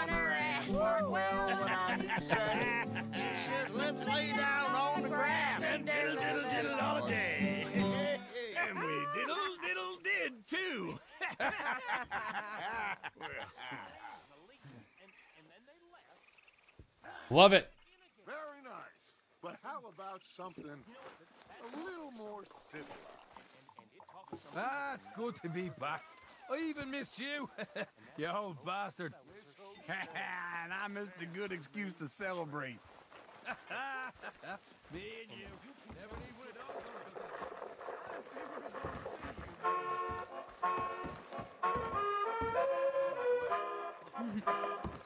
Ooh.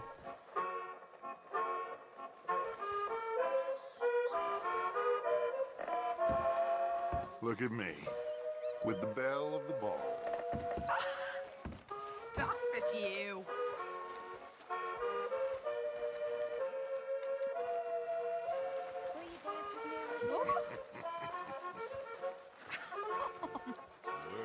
Absolutely. I ain't much of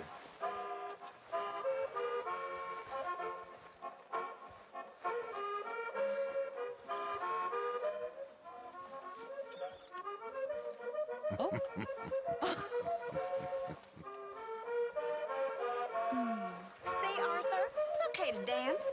Doesn't mean we won't stop thinking you're angry and sad. That what you think of me? sad in a good way, like a romantic poet. Well, that's about all I can muster. Well, well,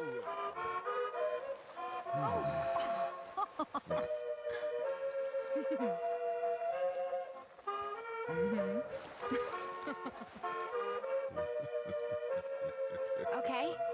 Well, thank you, Mr. Morgan. Absolutely. My pleasure. Hosea, what's up, brother?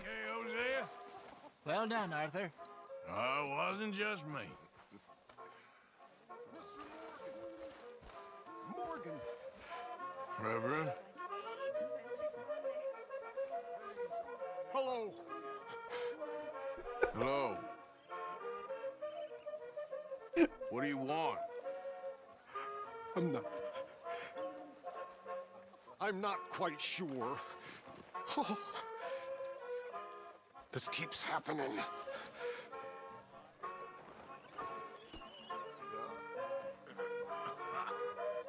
Man, the Reverend's a bit of a mess.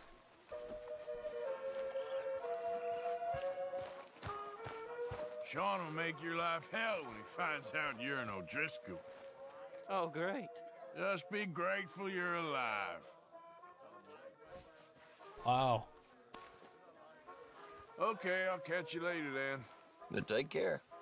Man, Arthur still calls Kieran and O'Driscoll? Oh. This is what I mean, man. When you get groups like this, you get big groups, you get what are called intra-group dynamics. And this is how you get marginalization within marginalized groups. You know, for for a real world example, you know, in like, you know, we look at folks who are, you know, identify as LGBTQ plus IA, right? All of that. That group as being a marginalized subset relative to like straight folks. But within that community, there is intra group dynamics. Uh, one common example are like people who are bisexual are often marginalized within the LGBTQ community. And people often ask themselves, like, well, how does that happen? Well, because humans are always vying for hierarchy, control, power, influence, all of these things. And so when we perceive folks as other or different in a way that we don't understand, one of the ways that we mitigate the dissonance we experience by that is with that is to assert power over. So we see Kieran as an outsider who joined the group as part of survival as opposed to because he believes what we're doing in what we're doing ideologically. And he is marginalized within our group. And we see this through the language that we use. Arthur says to kieran he calls him an o'driscoll that is absolutely exerting power over him that is that is us not being willing to look at an o'driscoll as somebody who can find their way somebody who can do better somebody who can leave the group somebody who has the capacity to share our values. If we allow Kieran to do that internally, then we kind of have to do that for all of the O'Driscoll group. And that's going to be a hugely difficult exercise for somebody like Arthur or Dutch to go through. So instead, we just further marginalize them and to mitigate the gray area. This is how intra-group dynamics and marginalization happens even though we're an oppressed group of outlaws, we still have a hierarchy. There's marginalized within marginalized. And as groups expand, we see more and more and more of it.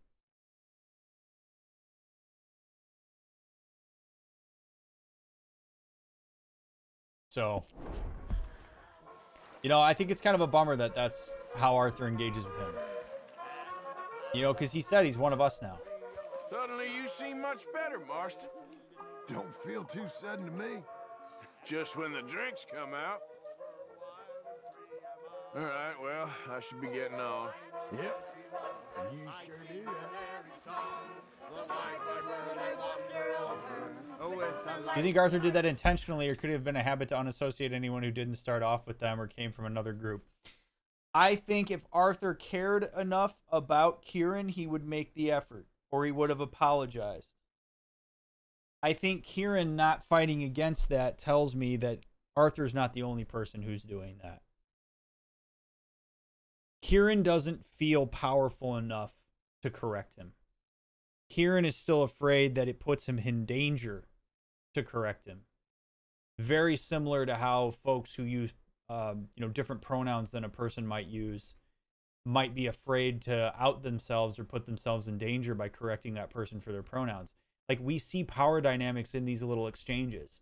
If Arthur apologizes to Kieran and says, "Hey, my bad. I know you're not an O'Driscoll," well, then that shows that he gets it, right? It shows that Arthur's self-reflective enough to understand that dynamic. But Arthur doesn't do that, and Kieran doesn't correct him, right?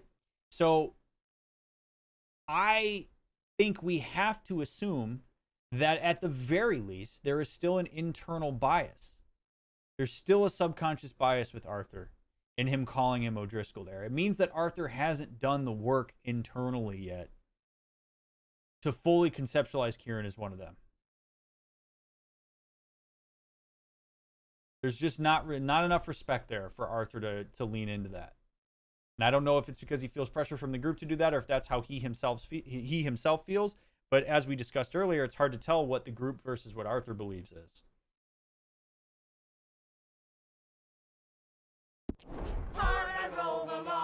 We too often give people in the dominant group the benefit of the doubt when they microaggress. It's important to call out microaggressions when we see it. We generally don't assume or give the benefit of the doubt to people in marginalized groups, but we almost always do to folks in dominant groups. Arthur's part of the dominant subset of this group. Arthur has the ability to call him O'Driscoll with no real repercussions. If Arthur calls him O'Driscoll and Uncle and Dutch and John Marston or anybody within earshot comes over and says, Yo, he's one of us now, stop calling him that. That's how you hold people accountable for microaggressions. It's not it's not the marginalized person holding the dominant person accountable for it. It's fellow dominant people holding dominant people accountable to it. I think it's easy for us to look at it and go, yeah, no, Arthur just made a mistake. But he microaggressed. He absolutely microaggressed. Even if it wasn't intentional, that's still pretty shitty. And so Arthur needs to have that bias brought to his consciousness. He needs to understand the impact that that has. He just othered somebody within the group in a way that I would argue is not acceptable because this guy has more than shown that he's with us and that he's fine to this point. I don't really understand Arthur's motivations for that.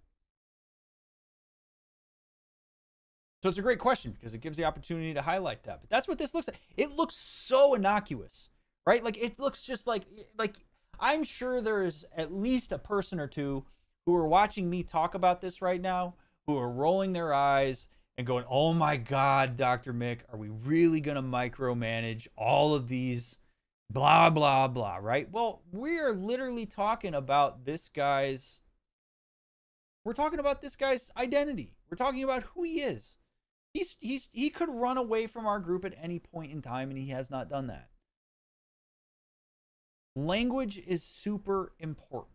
Language is how is something that humans have that allows them to exert more or make more overt what are generally covert within other animals. So it's it holds true for even relating to now.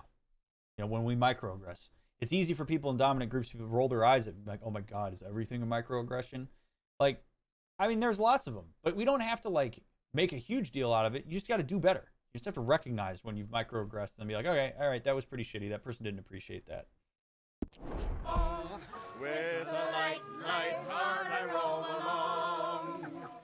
The wind roams free All right, well, this party was fun, but I think it's about time for me to go to bed. I'm gonna shave and I'm gonna go to bed.